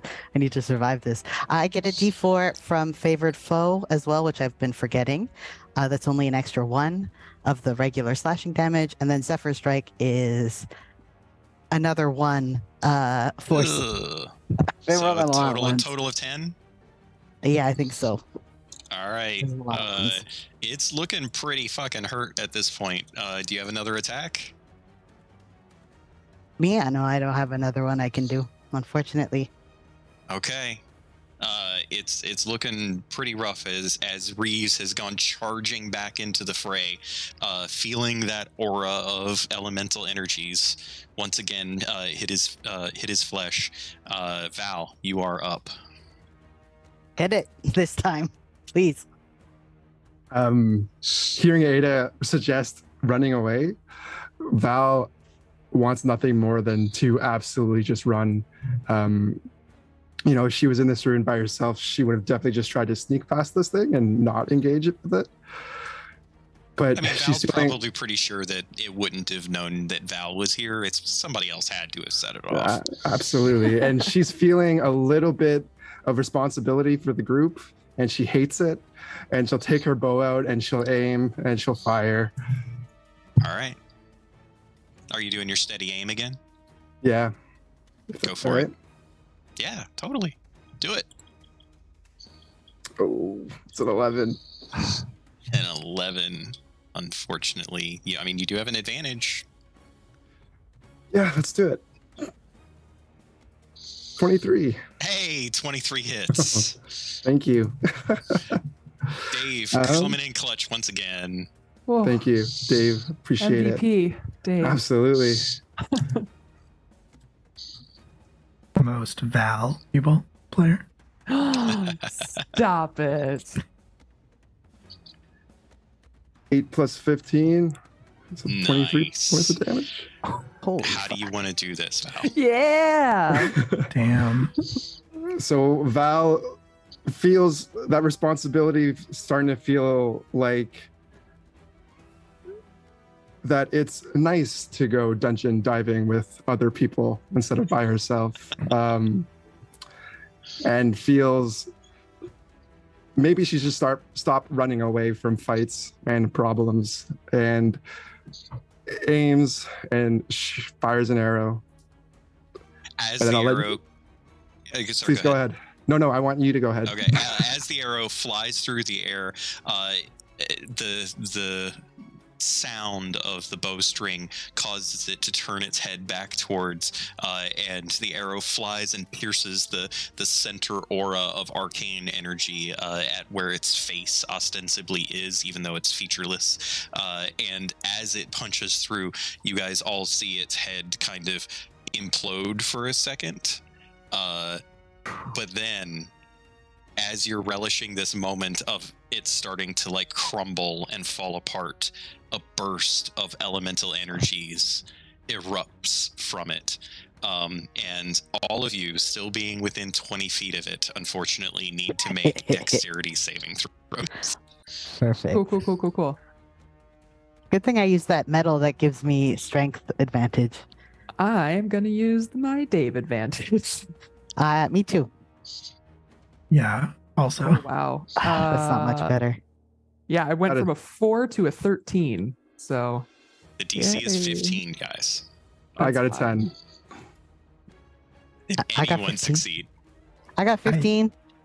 Walsh succeeded on the reroll. Uh, Okay. Falstaff got a 10. Okay. Oh no. All right. Uh, Okay. let's see. That is going to be um, so in a swirl of electricity and fire uh, and cold. Uh, this burst of energy just erupts from this thing's body. Uh, anyone that failed to save takes 16 points of damage of various types. Anyone that succeeded takes only eight. Okay. but this thing does crumble to nothing. Uh, fragments of it skitter across the, the ground from the explosion. You guys can all see arcs of elemental energies kind of wafting through the fragments of its body. Uh, did anyone go down from that final blast? Nope. Falstaff did. No. Um, no. It's okay. It's okay. Falstaff is in um, arcane cannon mode, which means that he has lower stats but way more hit points. So, um, because he's an arcane cannon, functionally, I think what happens is he gets blown back against the wall. The clamps and the things that were holding him in place are not strong enough, and it kind of um, shatters some of the components. The cannon part of him kind of like falls out. Some of the extra pieces that cover his body slide off as well, and it's just he's kind of left a little less bulky and a little more like monkey like in his frame, I think. So like he's still up and kind of limping around, but the arcane cannon is out of commission. No, no. Uh, Buddy. So yeah, as you guys kind of Im- feel this impact of elemental energies and are looking around and see Falstaff like healing off of the side wall uh, with chunks of its body uh, falling away from it, uh, feeling the stress of the the fight that just happened. We're gonna take a break. Yeah. We will be back uh, in five minutes, guys. I promise as close to five minutes as uh, we can possibly make it. And uh, yeah, we'll see you guys soon.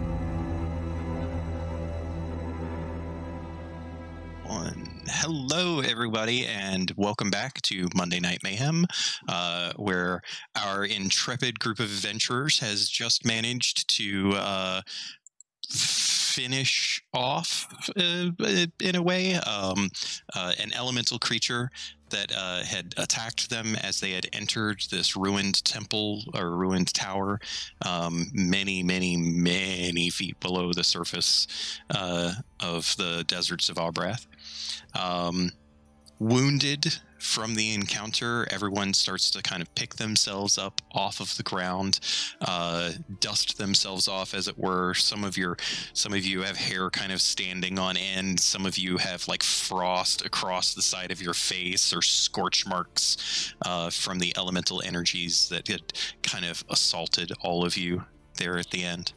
Um, in this moment, though, I would actually like to take an opportunity for Val, who in the fray began to kind of have a little bit of a, a crisis moment, as it were, uh, until getting the final blow. Uh, and many, many memories start rolling back into um, into Val's mind.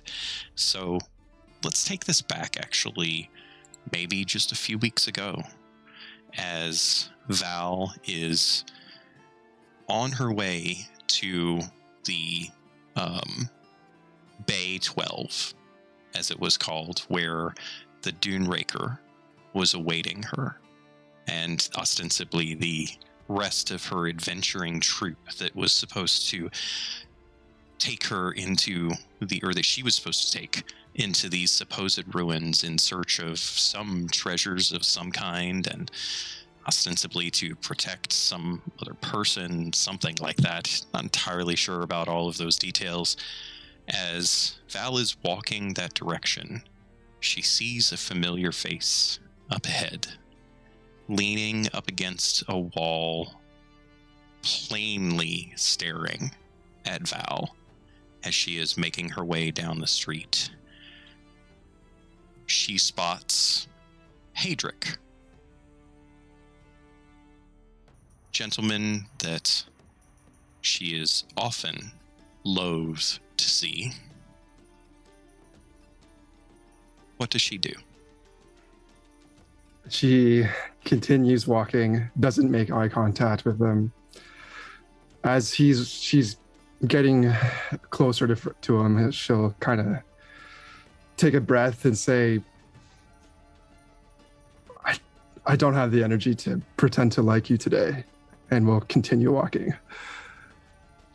As she starts to continue walking past Hadric, he kind of chuckles to himself and steps blatantly in front of her path to stop her and says, Now, now, Val, you know it's not quite so easy to get away from the organization, don't you?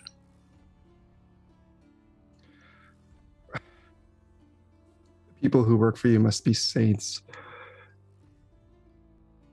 Oh, very much not, I assure you. They are not saints in any way. You know, you've worked for us. We're having to deal with you every day. It's a lot of work. Indeed. I make sure that the people working for me come through when needed. And here I am to make sure that you, Val, come through when needed. And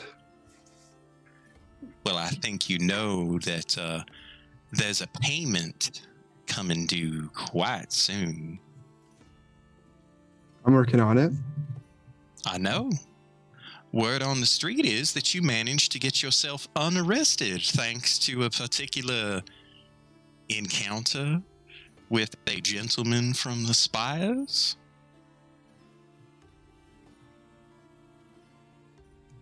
Yeah, it's uh, it's the new job. Mm. And um, this new job uh, ostensibly leads somewhere in the deserts that you will um, be delving into for lost treasures and such. It's what I do. Is there a point to this story? Can I please go? No, Val, you can't go.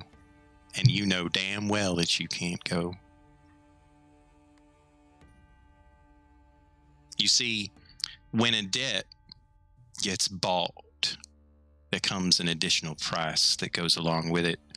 And I'm here to allay that price to you.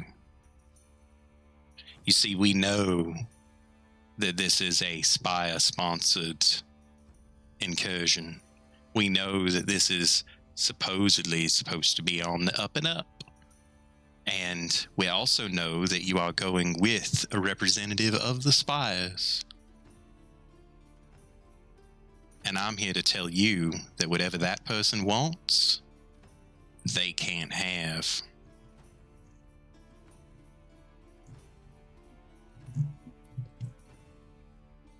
What are you asking me to do? I think you know quite well what it means to owe a debt this large, don't you? That it's not just you that carries that debt, that if you don't come through, we might have to pay a visit to Grandma as she's sipping her mimosas.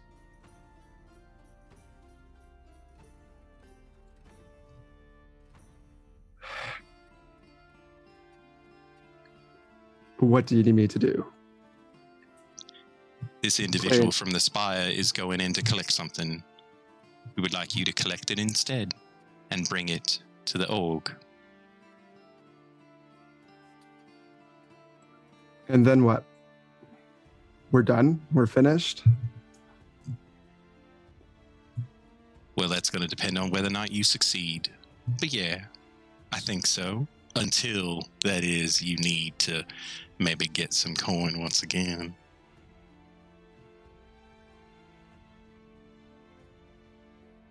All right. It's fine. I'll get it to you.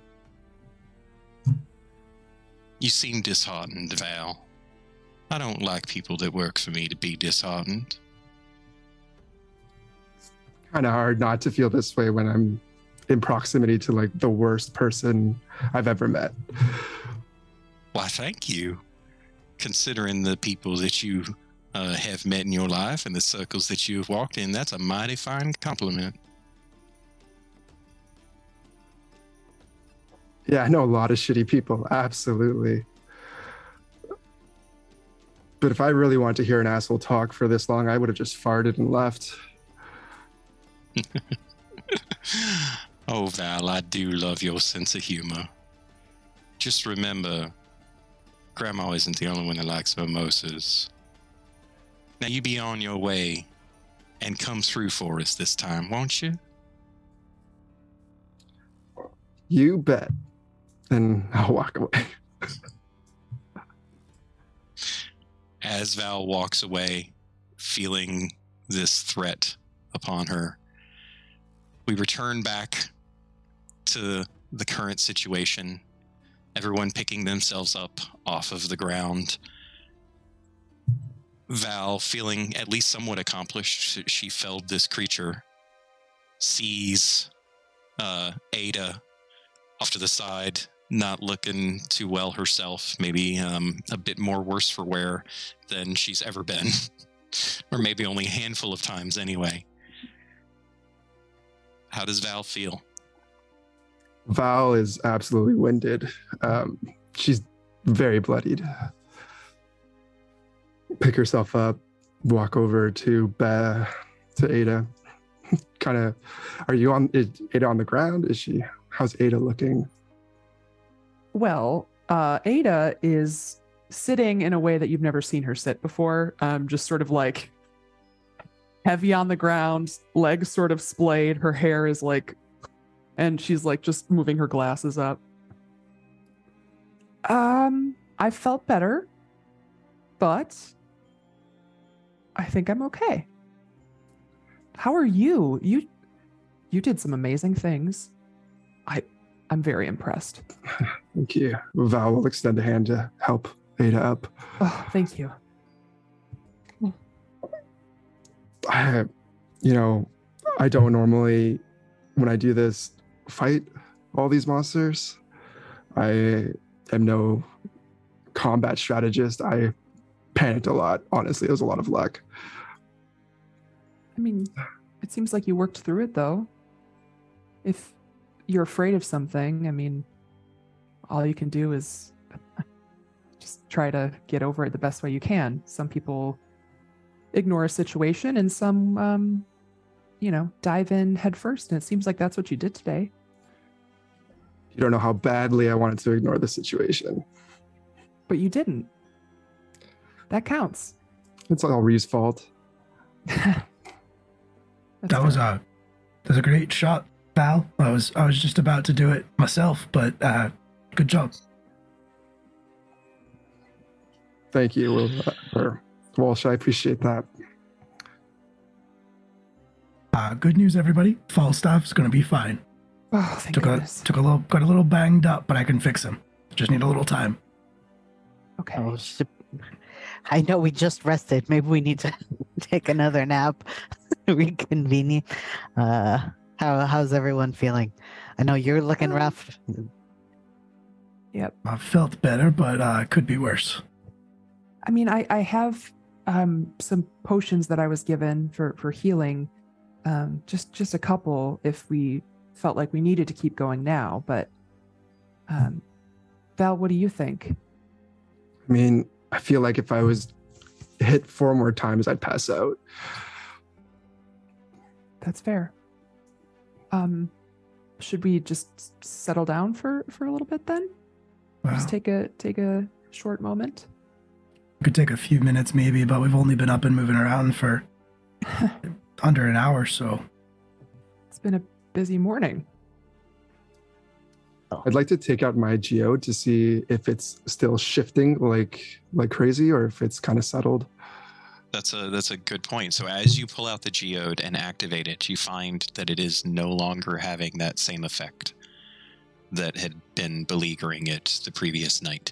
Um, her proficiency in Arcana kind of tells her that, given what she saw of the doors, is probably some kind of just magic ward that takes place on the outside of this structure, whatever it is. Um, and it seems to be working fine now. Like to find like the closest kind of recessed cave or something where it's just like a, a small cave where we could kind of set up a, a resting spot so we're not out in the open.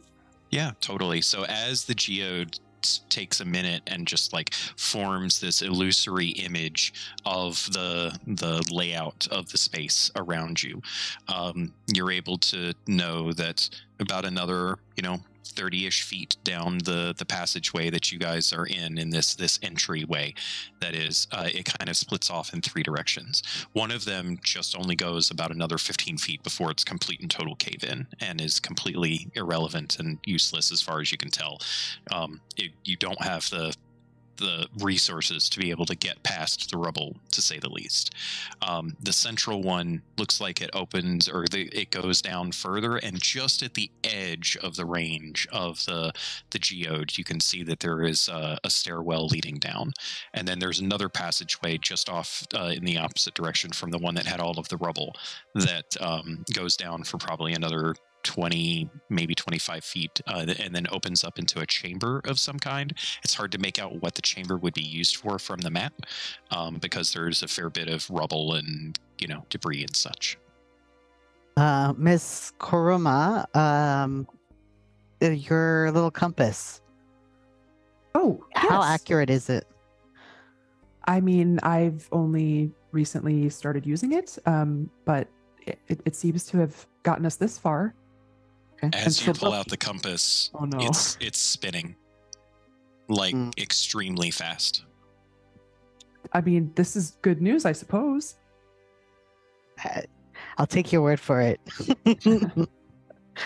okay. Uh, well, cave in. It it limits our options. That's good. What uh, Val or or Eyda, Miss Kuruma, you either of you know which one we should take? I mean, this is spinning in circles, so I, as far as it's concerned, we're here. Um, uh, Val, does your map sort of give any other? I mean, there's a, a small cave. We can rest in there real quick. And then there's this path that goes. It looks like it goes to some kind of corridor. It goes on and then stops. I can't tell what it's for. why didn't you ask me? Maybe I have an opinion. I mean, can you see? It's Sure. very dark down here. I'll put my drops in. I can see. well, do you have an opinion? Not particularly, but it's nice to be asked. Okay, I'll remember that. Falstaff, do you have an opinion? no, he, he very shakily and like glitch, like glitchily shakes his head. Perfect. Well,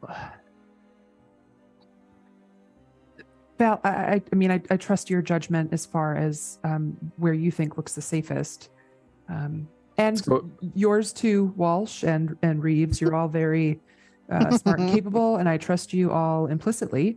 Um, so you all can decide, and I'll just be over here trying to fix my hair just a little bit. Let's go into the cave in and take a breather, check how Falstaff's doing, patch him up, patch myself up, and then continue on. Okay. Sounds like a plan. Rest, rest, rest, rest, rest. you guys are all able to take a short rest, uh, spend any hit dice, get back all of those things. Uh, you proceed. I'll just take over a little bit here narratively. So you proceed down that small caved-in passageway.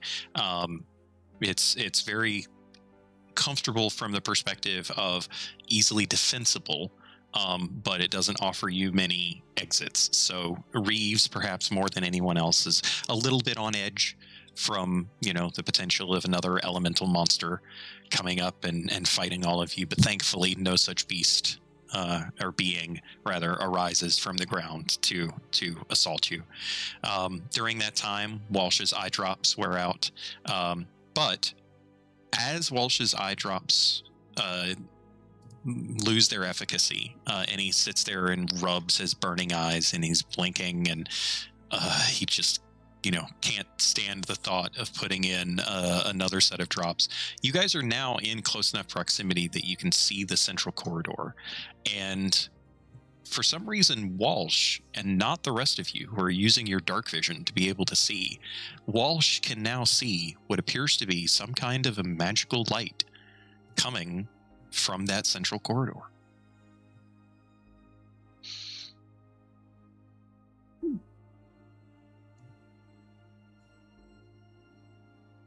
Well, Well, that is convenient. I'm almost out of drops. How's that convenient? Well, now I don't need to use them. There's light where? down the central corridor. Just right right there. Are you are you turned around? No. Oh, you don't see it? No, I don't see anything. At No. least Valriel is astute enough to know that she could shift her dark vision to her normal vision, like, and and look if she wanted to. I would say. Val's been in these types of places and situations enough to at least recognize that there is truth in in in what Walsh is saying is not completely out of left field. I want to gaslight Walsh a bit. oh no. Come on, that's just mean. That's why. Uh. That's what friends do. No, no, it really isn't.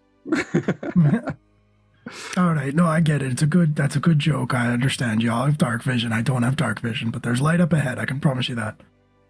yeah, he's right. oh, okay. Well, uh, Sergeant. is it good light? Uh, it If if appears if, to be if, if you shift your neutral. Yeah, if Eyda shifts her dark vision to, back to Put her normal vision, down. yeah, uh, and as Oh. she shifts, she can see the magical light, and she would recognize it instantly as the kind of light that is produced from Arcana. The fact that it is also shielded from dark vision implies to her that it is a very rare uh, and exotic spell working of some kind. Oh, this is exciting. Okay. Um, definitely magical. Uh, I, I mean, I personally would like to move closer to it, but I mean, you, you all can. When I had checked my geo, did I see any traps? Because it highlights traps and um, right, it did. You did not see any traps. Thank you for reminding me. I meant to say that there was no traps that you could discern. Nice. it looks pretty safe. Uh, no traps. Reeves, Yeah, want to lead the way again? Absolutely. Uh, how much time do I have left on my medal? Am I out now? It's It's an hour. Yeah. Yeah. Okay. Cool. I'll walk forward. Um, I have blind sight within ten feet. If I uh, switch my lenses to blind sight, uh, can I see the light, or is No. it not there? No. Okay. So you guys are all proceeding then down the central corridor. Mhm. As you make your way, uh, to, oh, fantasy animal vegan coming in with three advantages Ooh. for Will and six for me. Oh no. Oh. I Dang. mean, Wi- I Oh, was gonna say, God. Will. I hope they didn't watch your uh, Pokemon game where you had to cook up some oddish and stuff. So This, this is slander. This is this is slander. That didn't happen. I didn't do that. my God. This is Lovely. fever dream. Okay. Thank you, thank you, Fantasy Animal Vegan. That's amazing. Love you. Uh, we will we will definitely be making notes of those. Um, Oh, yes, oh you no. proceed your way down this central corridor. Um, as you're proceeding down, it goes a, a decent distance before um, the uh, the passageway starts to go downward, as the geode had indicated, and. Reeves, before any of the rest of you, you can feel a rumbling in the ground. And at first you think, uh oh, here comes another elemental. But then you notice, Reeves, not the rest of you, notices a difference in the rumbling. Pretty much as soon as the rest of you start to feel it, Reeves can feel this almost tectonic shift of the ground, uh, as if the area that you're in is relatively unstable.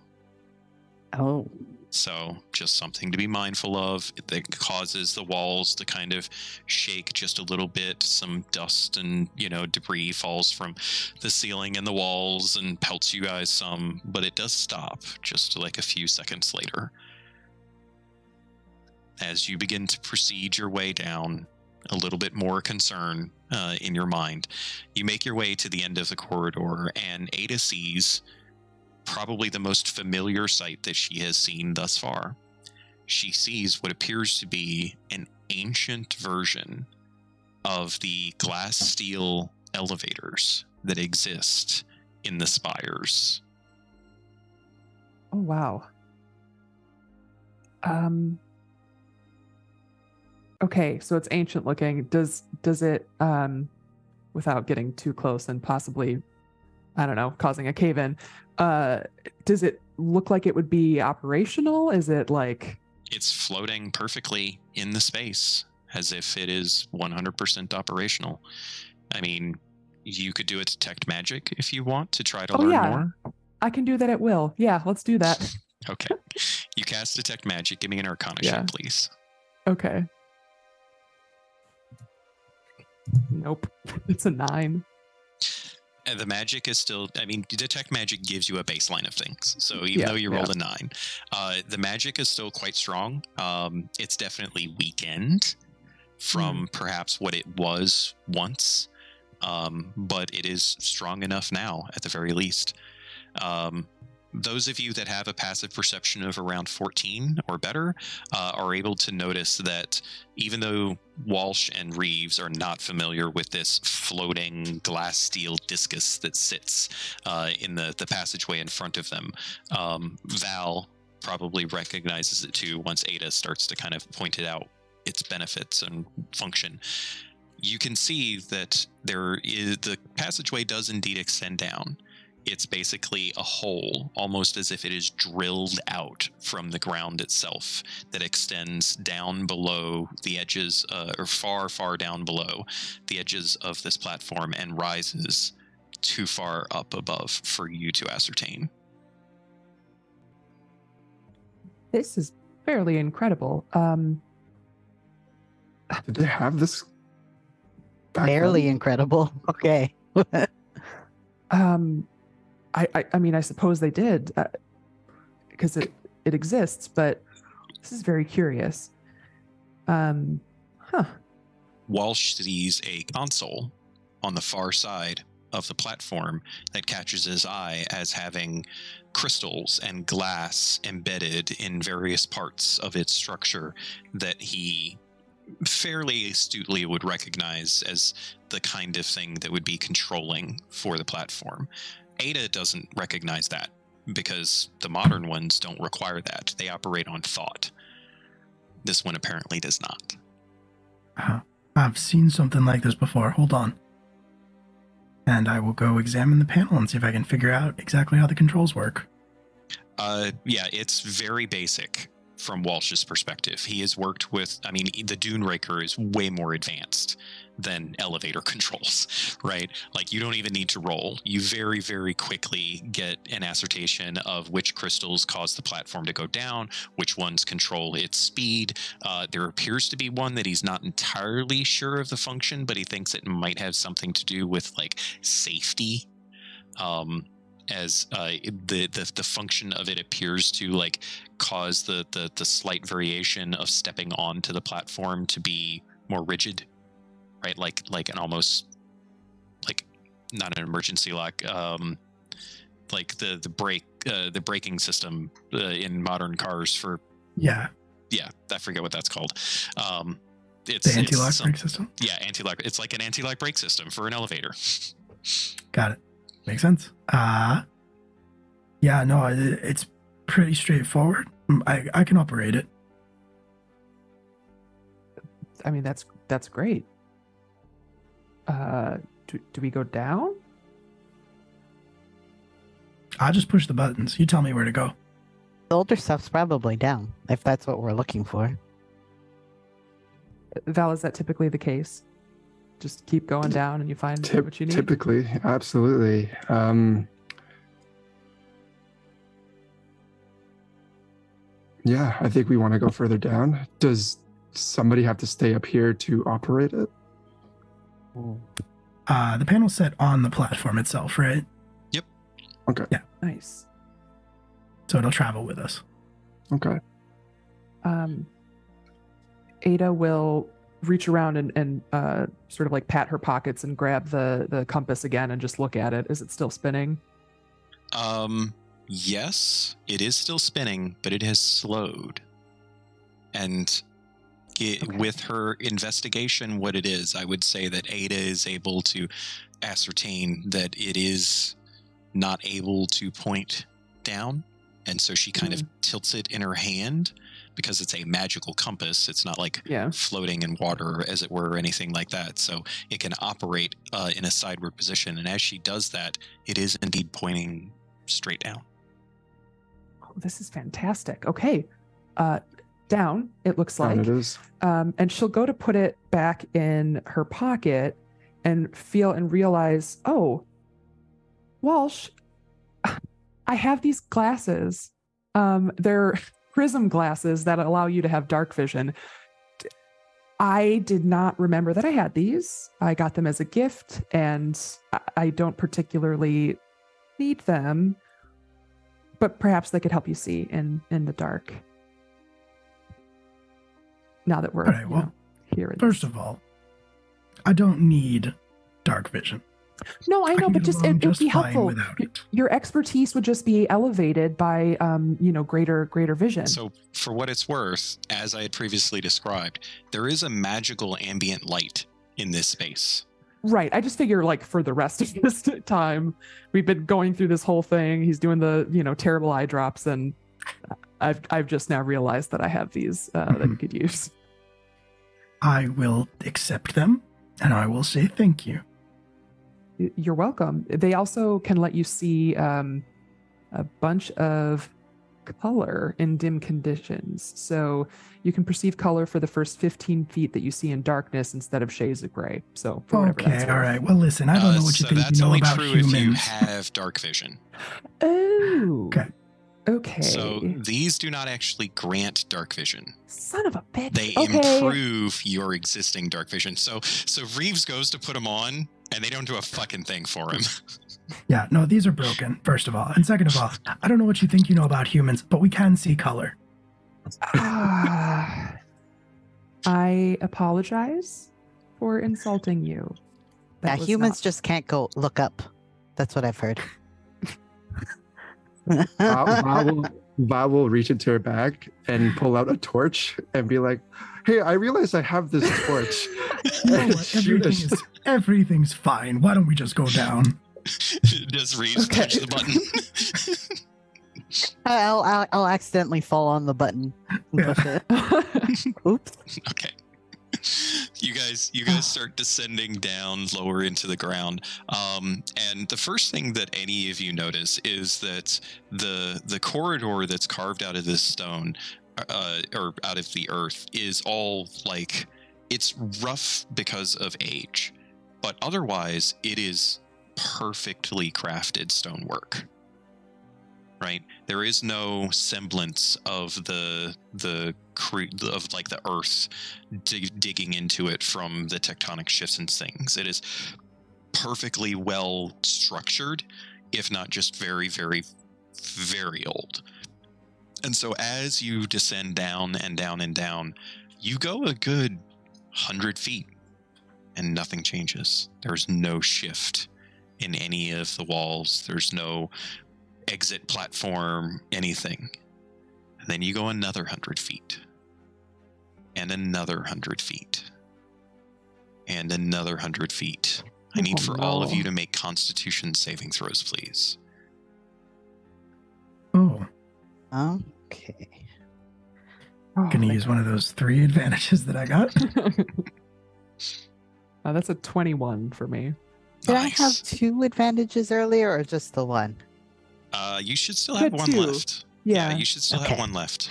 I will definitely use that because it did not feel good. Oh Um, shit! that is a dirty 20 on for Reeves. Uh, for Oh, what it's worth, Falstaff does not need to make this safe. Cool. Because he That is is not an organic creature. I got a six. True. Oh, I got a 21 after I rerolled. All right. So Val is unfortunately the only one that failed this save. Um, Val is starting to. All of you are feeling it, but the rest of you are able to kind of like hold it off and not be too encumbered by it. Val is starting to feel the pressure of being so far deep underground. She uh, effectively has disadvantage on all ability checks at the moment because she is so far deep underground. This is the deepest that Val has ever been in any of her dives into any ruins. Um, and it's definitely having an effect on her as her vision starts to close in a little bit. Um, all of you are able to see very clearly that Val is suffering a little bit from this, that she's not able to to fight it off as strongly as the rest of you. Should we stop? Give her time to acclimate? I mean, I don't know if I know that word. Uh, Val, do you need here? Um, and Eyda will go stand next to her and just sort of like put her arm out. Just hold on, and just breathe slowly. She'll reach out and grab it, but she's kind of disassociating from her body a little bit. God. Do you want me to stop it? I can stop it. Maybe just for a moment. We'll hit the stop button. Yeah, you're able to stop it, no problem. Um, as you stop it, I need for all of you, except for Val, because I think Val is probably a little bit too distracted in this case, to either make Arcana checks or investigation checks, whichever you would prefer.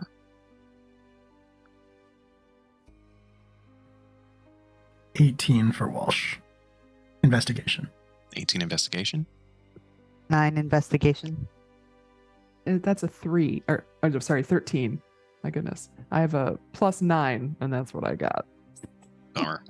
Um, so as Walsh stops the platform and everybody is kind of taking, uh, you know, paying attention to Val and, you know, looking around a bit, uh, feeling the effects of this, um, Walsh, thankfully, the magical luminescence of this place still strong as it was before, providing dim light, uh, if not necessarily bright light, allows Walsh to kind of just take a moment and look around. As he's looking around, he sees a distinct ripple of what is obviously has to be magical energy of some kind in the wall that is surrounding them. It just kind of washes over it as if like a wave rippled around him.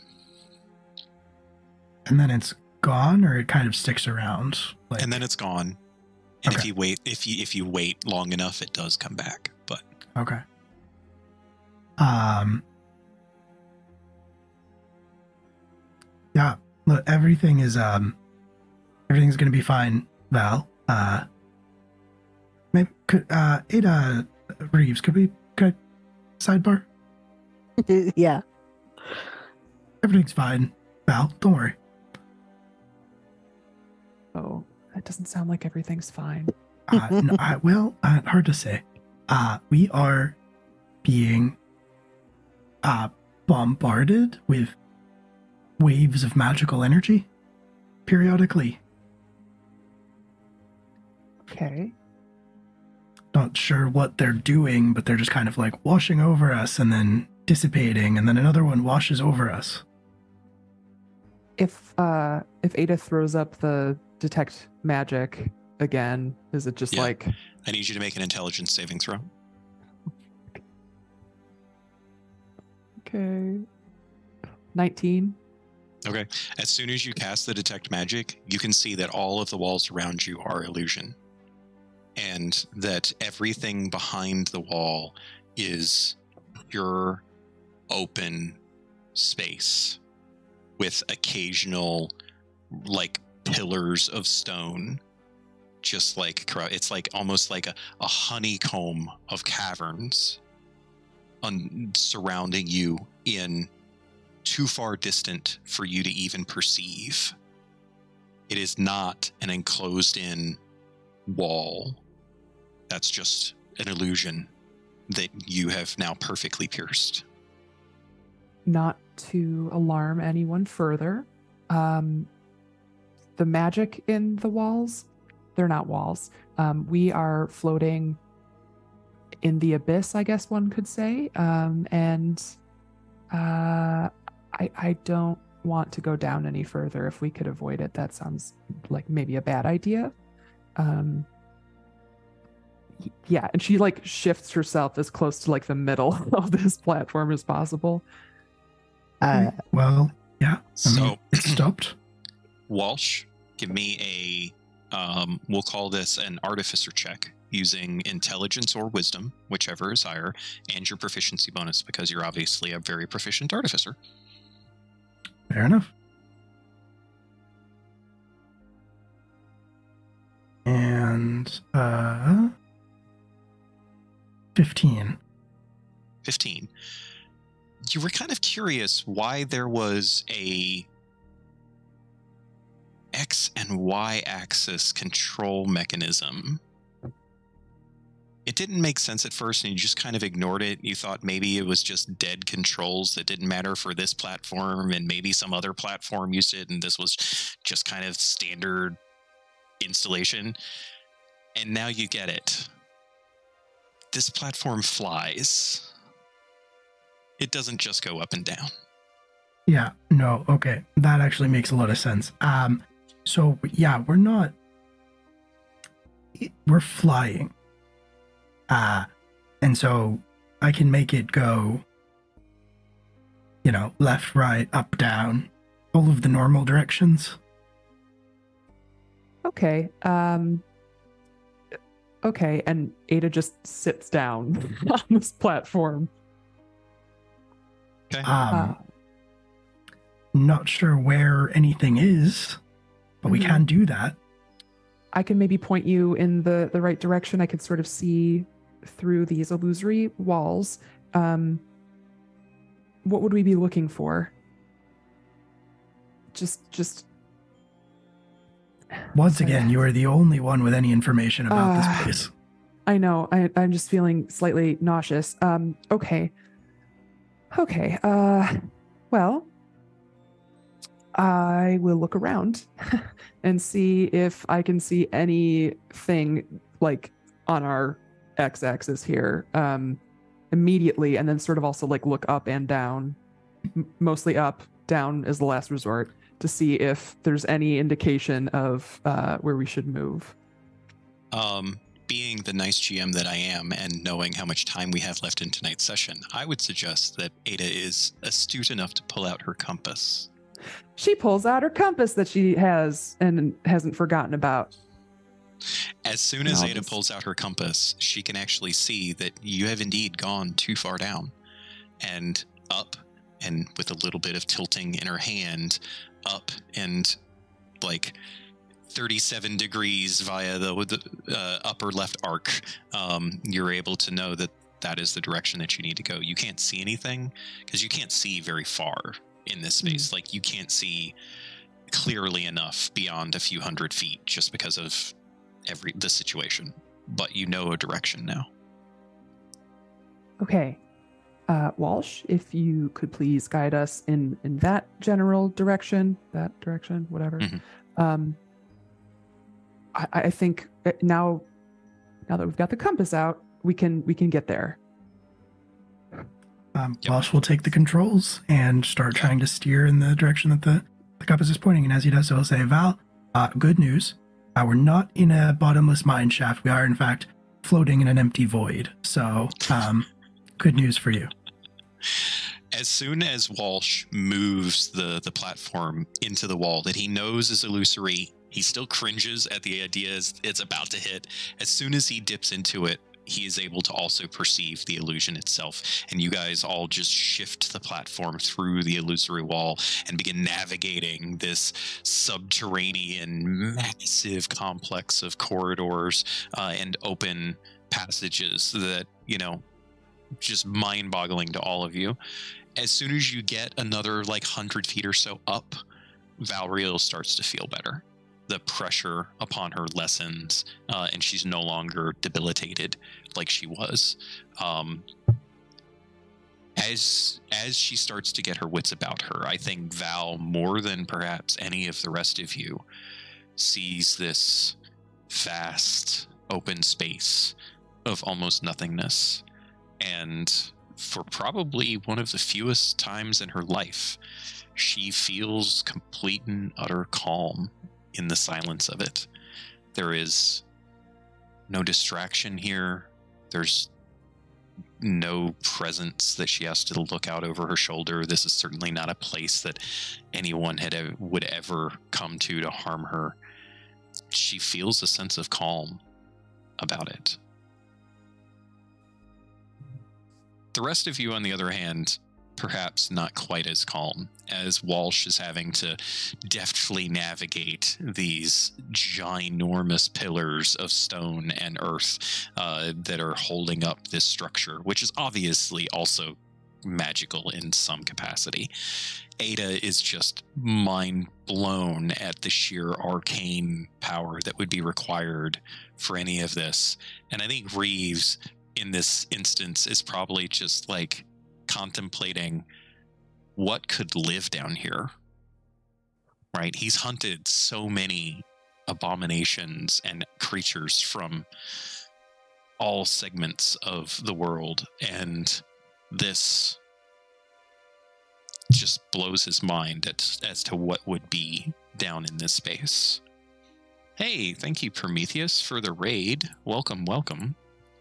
You are just uh, about to catch our uh, adventuring group as they are making their way through this void of subterranean space on a magical flying platform. Um, as you are going through, do any of you have anything in particular that you would like to do as you're basically just following the compass? And it is navigating you, like it's pivoting as you pivot and giving you direction. Um, I think Walsh is just being is just enjoying being behind like the controls of something again. That's where he's And- most comfortable. And this thing's freaking flying. Yeah, that's a new one. I, I think Eyda's just amazed, like you said, at, at this.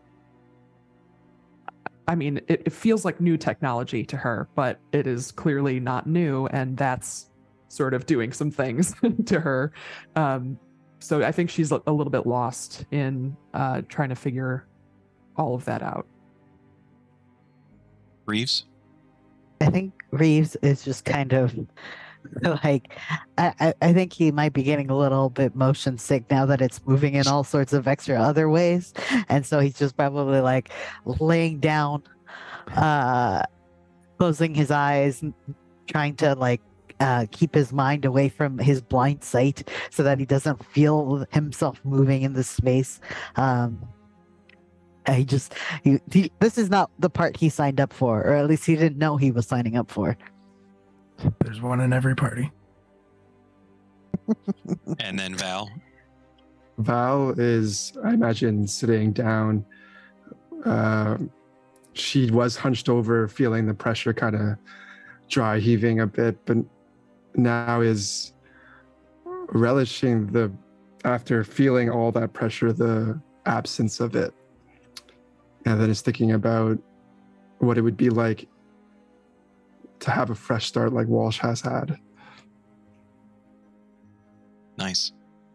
As you guys are floating through this vast void of subterranean space uh, and encounter experiencing in so many different ways, you begin to see a light up ahead, a plainly clear, perfectly crystalline blue light.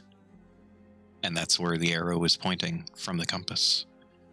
All of you, despite any lack of expertise or proficiency in Arcana, are able to immediately recognize something that would be so markedly arcane and uh, filled with magic.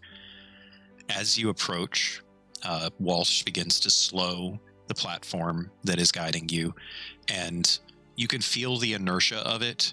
Um, I think Eyda and maybe even Val are starting to recognize that despite how strong this magic is, it's definitely not what it used to be because any of these platforms uh, that you use now, you never feel the inertia. Magic just prevents that. And the fact that you're starting to feel that inertia uh, in this maybe worries the two of you ever so slightly as Walsh slows. The magic light itself seems to be coming from some kind of a platform, just floating in the nothingness.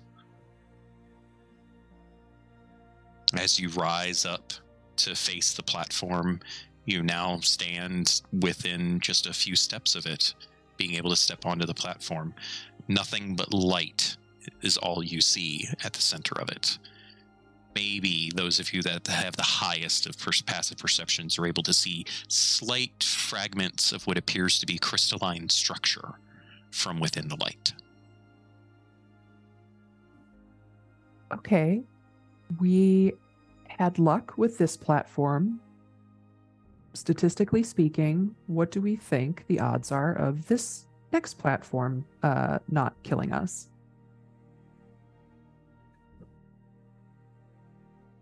Not zero, but Uh huh. Uh huh. Not great. Okay. Um. That's fine. That's fine. Uh, she like steadies herself and, and looks at it. Um. Is I- I feel like I want to make some kind of check for this thing. Like, it, it- can I Yeah. from from a distance without getting it, uh, like without stepping you onto it? Can I like, detect magic. investigate? Yeah, that's yeah. I mean, I yeah, can- you can absolutely just open your senses to the detect magic and do an arcana check if you wish. I would love that. I would not love that. Uh, that's an eight. Man, eight is good at this. Why is she rolling so bad? Because you know she's afraid of heights and she's a little nauseous right now. Thank you. That's totally fair. Uh, Yeah. Thankfully, the detect magic does give you a little bit. Um, Sure. uh, this is every school of magic. Like she can see sigils floating in the light that are invisible without detect magic, but she can see sigils floating in the light of every school, every spell that she's ever looked at in a book or scroll, um, ever seen in written form.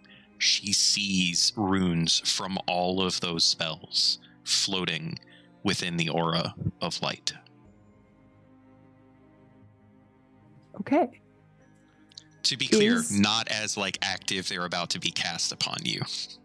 Right. Right. I, I was just gonna say, like, is um, is her feeling about this like positive then, like a good understanding, or I there is no threat. I will tell you that. I would I would not Okay. deign to to tell you positive or negative, but I can tell sure. you that there is no obvious threat.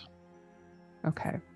Um, I'll sort of relay to the group what I've seen, and um, uh, should should we go on to the next platform? Should we, I try to touch it? I I feel oh, like I'll jump across. I'll jump over to the next platform. Wait a Without, sec. uh, no, nobody look at me for a second. Just, just don't look at me for like one second. I already then- wasn't looking at you. but but now she'll like, she'll rummage through her bag and she'll pull out the these glasses, and they're the thickest glasses you've ever seen in your life. And when she puts them on, her eyes get huge, and she'd love to make an Arcana check with her goggles of object reading to see if if she can learn Okay. more about this platform. all right, go ahead and give me an arcana check.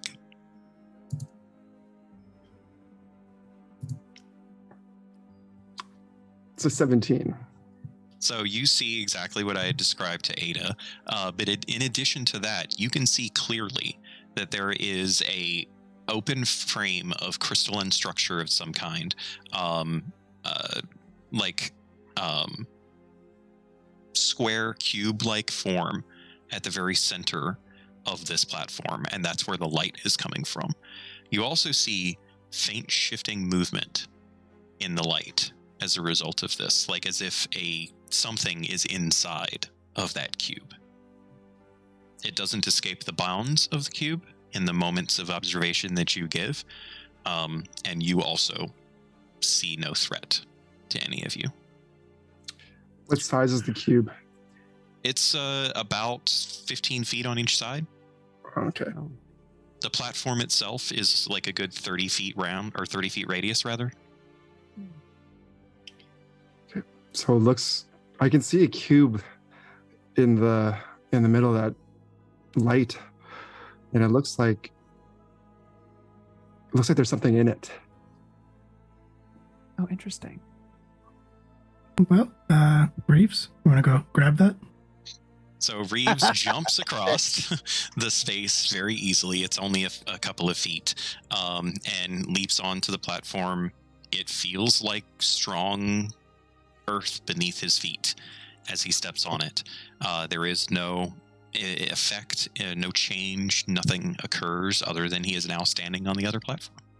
I jump tentatively. Just like leap straight up in the air. Yeah, to see if the The, the, entire platform, platform, just falls apart. You are now falling. No, I'm kidding. Um, Okay. uh, yeah, you you take a little hop and there is no effect. I'll walk towards the center of the platform with the lights the brightest. Okay. It, come in. The water's fine, I guess. Are the rest of you following Reeves? It really seems like maybe more of a one man job if you're just getting it and then bringing it back, you know?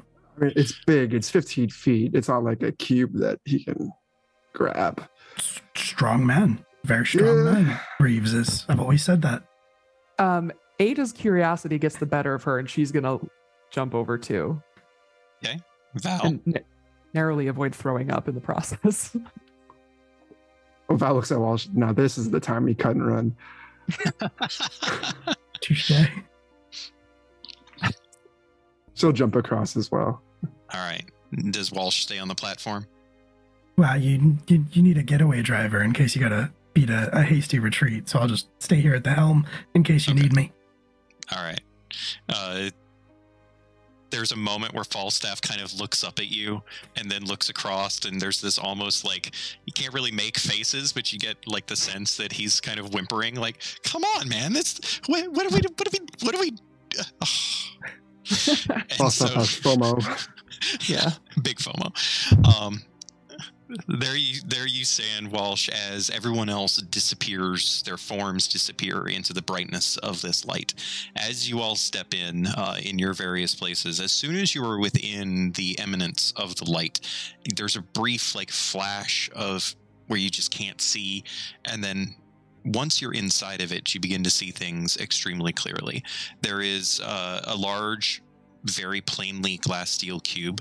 Um, but this is probably more clear than um, than any that uh, either Eyda or Val uh, has ever seen, right? And I think at least Eyda has seen the manufacturing of glass steel up close, so she knows what goes into this, and this is the most perfect that she has ever seen. All right. Walking in a seemingly random pattern within this cube, all of you see before you a form of almost pure arcane energy. Eyda immediately recognizes that this is not a living creature of any kind. Uh, or if it is, it is one not from this plane of existence.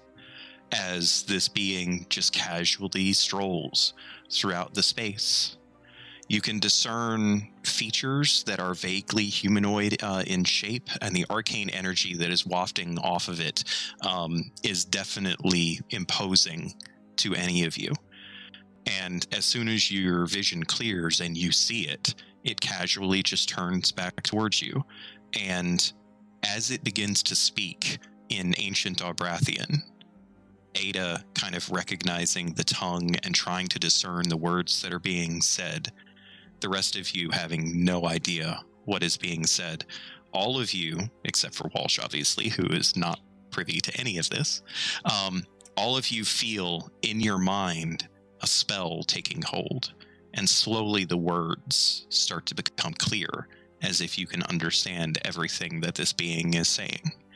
And as it stares out, its eyes made of pure arcane energy looking at back and forth between all three of you, you catch the final ending of whatever the lengthy statement that it was saying as it finishes by stating, And what is the business today?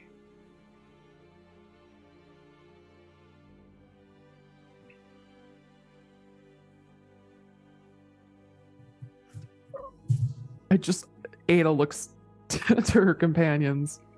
Uh, was there anything that I- would have heard prior to, This to is that? Okay. entirely. Uh, Super, the- okay. you, you were very caught up in the confusion of it and trying to Yeah. translate in your mind the ancient Yeah. Albrathian because this, like, this is so far ancient Okay. that she had no comprehension. Something along the lines of welcome and maybe like glad that you are well. Okay. And it's it stands there just observing all of you, waiting for a response. I, Eyda, what are we here for? Um. Uh.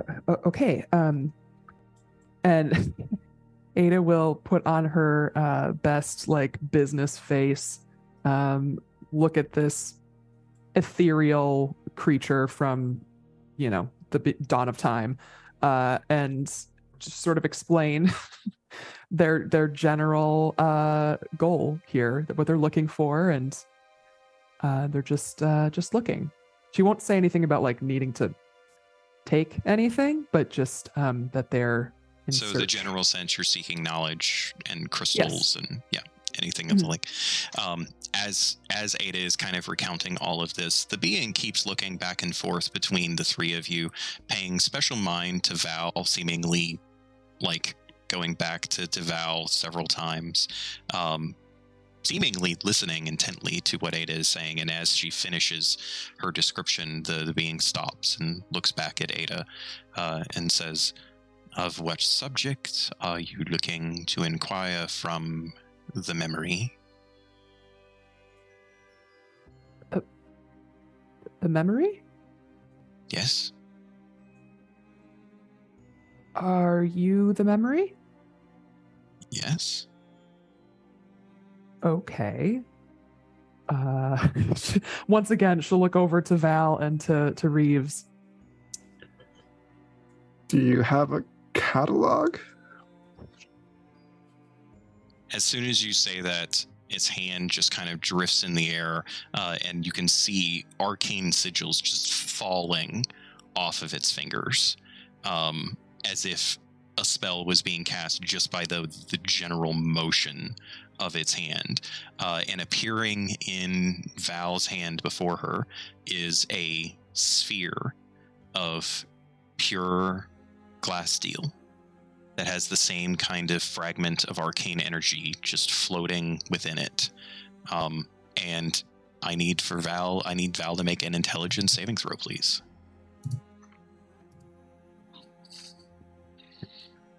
Twenty-one.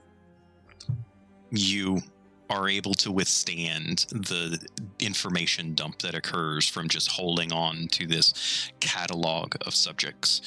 And it's basically every subject of study that Val has ever seen in any book at the universities um, of the Spires, and some that she doesn't recognize.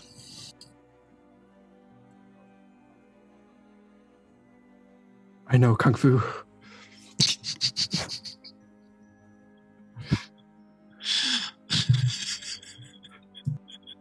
Um, Val, is that is that what we need? Thought I thought you knew what we needed. I just mean is is that is that what you need to ask the right questions? This is everything. And I'll I'll kind of roll the ball over to Eyda. uh, as as you begin to roll the ball, um, I need for Eyda when she takes it to also make an intelligence saving throw. And I will say that because Val is did so well on that save, and because of who she is and kind of her history, there is one and her perception. There is one bit that just kind of floats into her vision as she's handing uh, the crystal over. The fall of Albrath. And then she releases the crystal. What did Beth? What did what did you get on the intelligence save? 14. Eyda is very much overwhelmed by the information dump that occurs into her mind of just words, of just subjects of study. Um, she can't comprehend even where to begin with this. Val, How does Eyda look? she's stunned, basically. I'll walk up to Eyda, kind of like support them a little bit, take the crystal out of their hand and put it in their backpack. Are are you okay? Uh yeah. Yeah. Yeah, yeah, yeah, yeah, yeah. It's a lot, eh? Uh, It's too much, frankly. Um but I, I'm- I'm good. I'm good. Eyda is also astute enough to recognize that Val does not seem to be suffering any ill effect from Mhm. that. Yeah. Um, did I get a sense of this being's um, like name or like a history of what it might be? Or I mean, it already introduced itself as the memory. Okay, fair enough. Um, I think with the, what Val is perceived thus far, she would recognize it as a repository of knowledge. You don't know how far back it goes, how current it is, or anything of the sort, but it is, the very least, the most impressive thing that she has ever borne witness to. And I think it sticks in her mind the notion that there is a recording of some amount of information about the fall of the country in which she was born that still exists today. Um, have you ever heard of something called the Fall of Albrath, Eyda? I, Yeah, um maybe uh, she's she like she is not able to help right now. She's out. I would I would say that she probably has never heard of it in those that term before. Yeah. Okay. I I I look to the memory and be like, what what is the fall of Albrath? As soon as you say that, the memory turns and regards you for a moment, uh, and instead of off of its hands, you see those same kind of runes just materialize in front of it, um, forming out of the energy core that appears to be at its in its chest. And as it does, four different crystals begin to float in the space in front of it, and all three of you bear witness to illusory images of Albrath. In its form, you can recognize the general territory from looking at maps and things. You know just from that, and somehow intrinsically that you're looking at Albrath, but it's green and forested and has mountains and animals that none of you have ever seen before in the desert of any kind.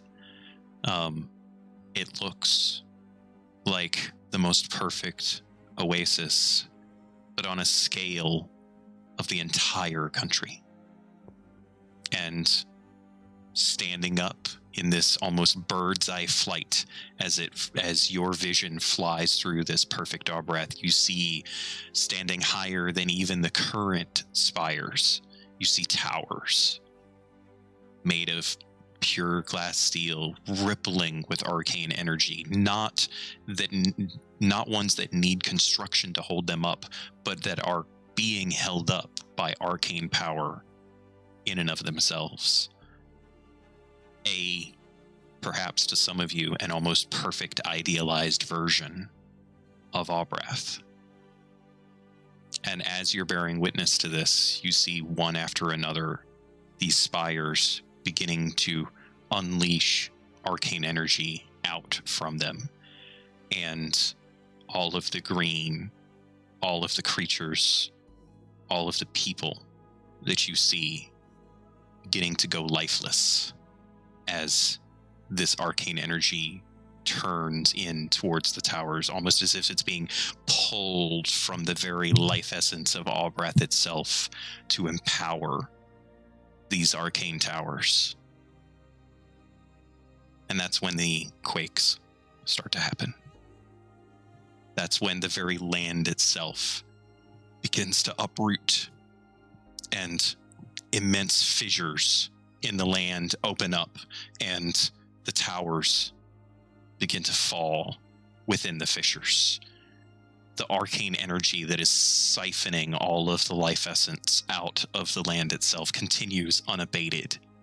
And you watch in horror over several minutes as it seems like an undeterminable amount of time passes across Albrath, turning it into a desert a lifeless space. However, you see a rippling as if there's creatures underneath the sand, immense in size, larger than any of the towers. And every now and then you catch a glimpse of huge, scaled, almost drake-like, as if as if it was a sand drake, but a mile and a half across, emerging from the sand and then disappearing back beneath. And I need for the three of you to make intelligence saving throws, please.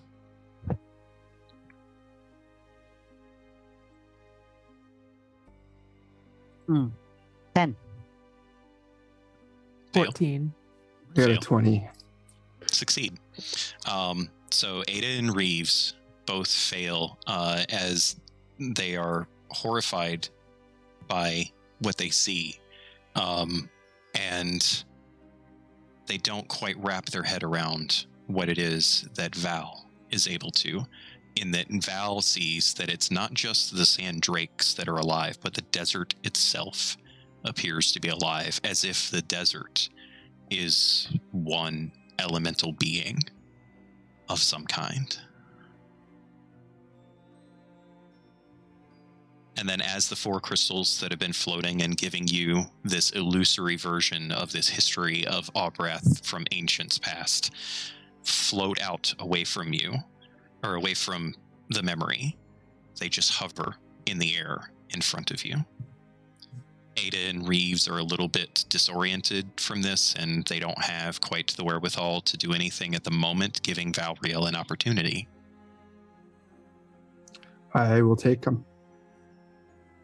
Do you All take all four? Or all four. Yeah. Okay.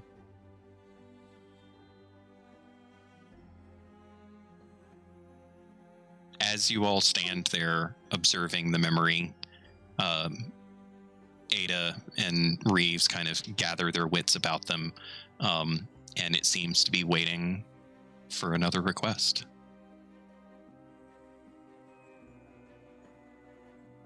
Oh, wow. That was a lot.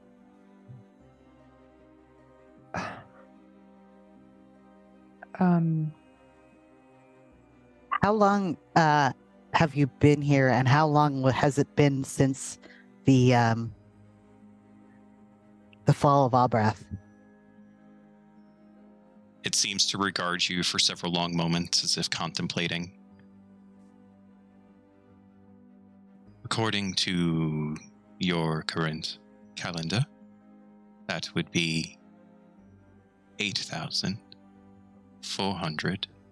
8,492 of your years.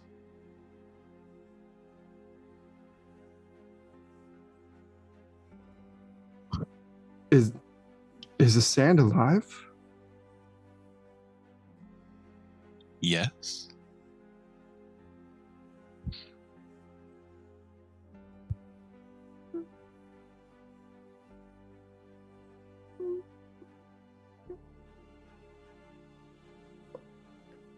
Eyda doesn't even know what to ask it. I, just there every every question that she's ever had about anything is like racing through her mind and she's like rolodexing her way to what she actually wants to know in this insane moment and but Okay. she's like struggling What Well, caused sh- the oh, fall?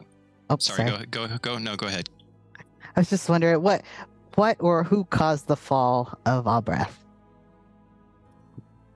Albrath caused the fall of Albrath. Hmm. Those that ruled did not know for what they ruled, and all of Albrath suffered in the wake of it and their ignorance.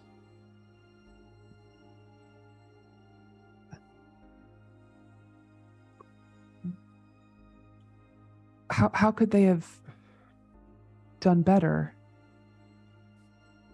by choosing to live with Albrath rather than conquering Albrath.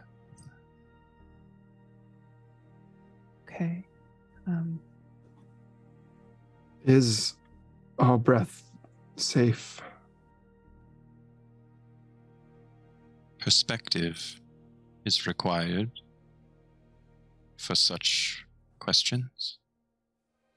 Save from destruction? From the sands? Albrath is the sands.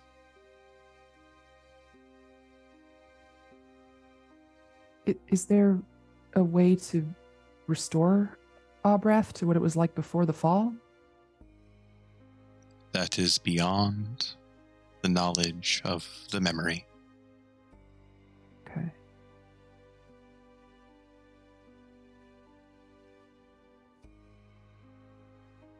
Walsh, can you make me a perception check, please?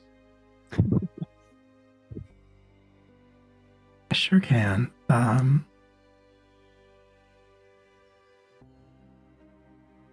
twelve.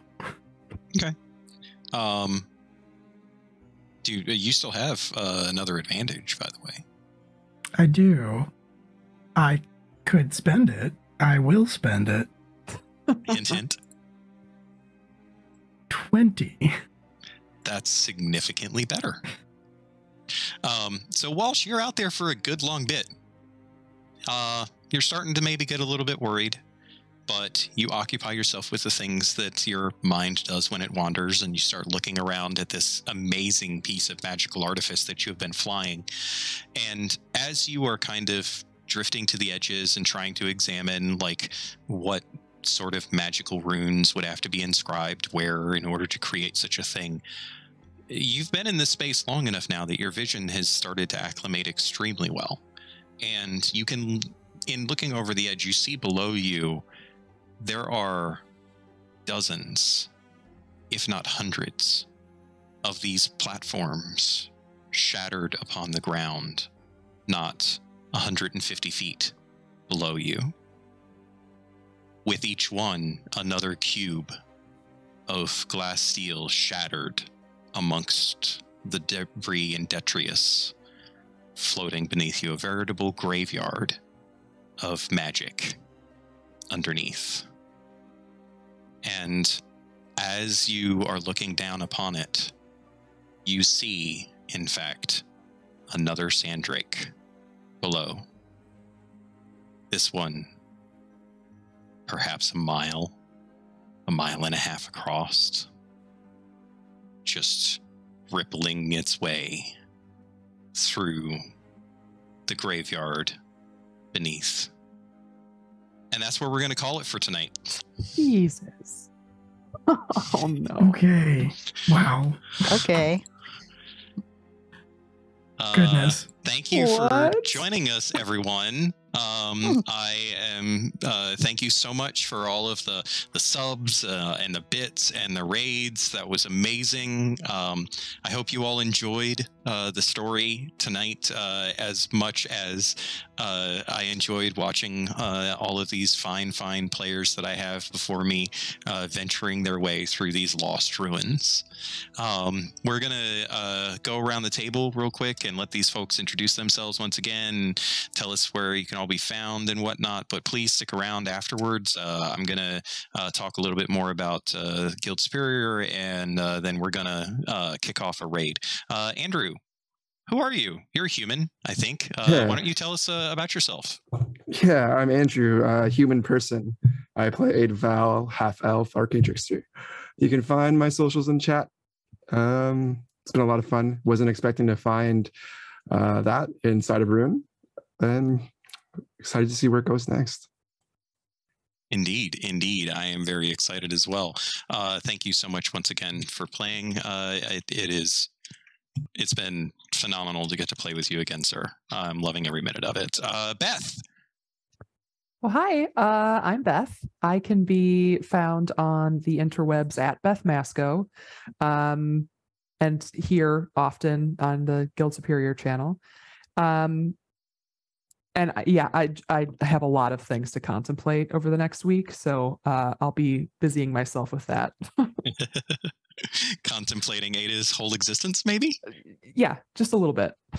All right, all right. As long as it's not too much trouble for you. Uh, No, it's Kay, good.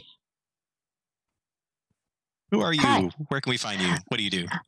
Uh, my name is Kay, or you can look find me at Kaidan Cosmos on most of the social platforms at this point. Um, I do art from like things like cross stitch to like graphic design to all sorts of things. I play games. I run trivia at Sly Fox Trivia on Saturdays. Uh, we also run a bunch of other stuff. Um, and I played Reeves today. Uh, it's a bit of a hard ass looking to um uh uh immigrate uh, immigrate He just wants to be a normal guy. yeah just wants to live a life anyway He wants to Yeah. go fishing. yeah, chill out Will. Will, tell us about hi, my- yourself, please. My name is Will. Um, you can find me on the social media at a Will M Scream. I was Walsh Payne tonight, the artillerist, artificer, scoundrel type guy. Uh, I was also Falstaff, technically the monkey slash cannon, and uh, I can most often be found over at Live from the Apocalypse, which is a not-for-profit TTRPG studio that makes actual play content in the form of podcasts and streams to raise money for nonprofits and good organizations. Um, we're currently fundraising for the First Nations Development Institute, and we will be, um, if you want to see more of me tomorrow night, we'll be streaming our Eldritch Horror Pokemon TTRPG Missing Numbers over at twitch.tv slash live from the apocalypse, where I play Julian Rue, ex Team Rocket member turned chef. It's kind of a light week for us. I think that's the only uh, stream we have this week. Uh, but I was fortunate enough to be interviewed on the Reckless Attack podcast. Uh, so if you know Reckless Attack, I sat down with Nathan, and that is going to be dropping on Thursday. If you want to check it out, uh, Reckless Attack on all the podcast platforms. Awesome. Awesome. I will definitely be tuning in for that. That's great to hear. Uh, I have been uh, Miko. Uh, I am at the underscore okayest underscore GM on all of the socials.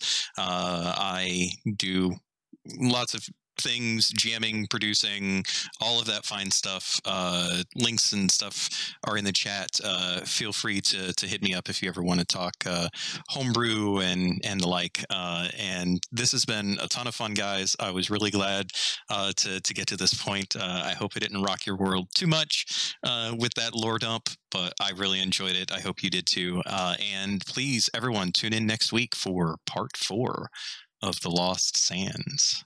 Uh, bye, everyone.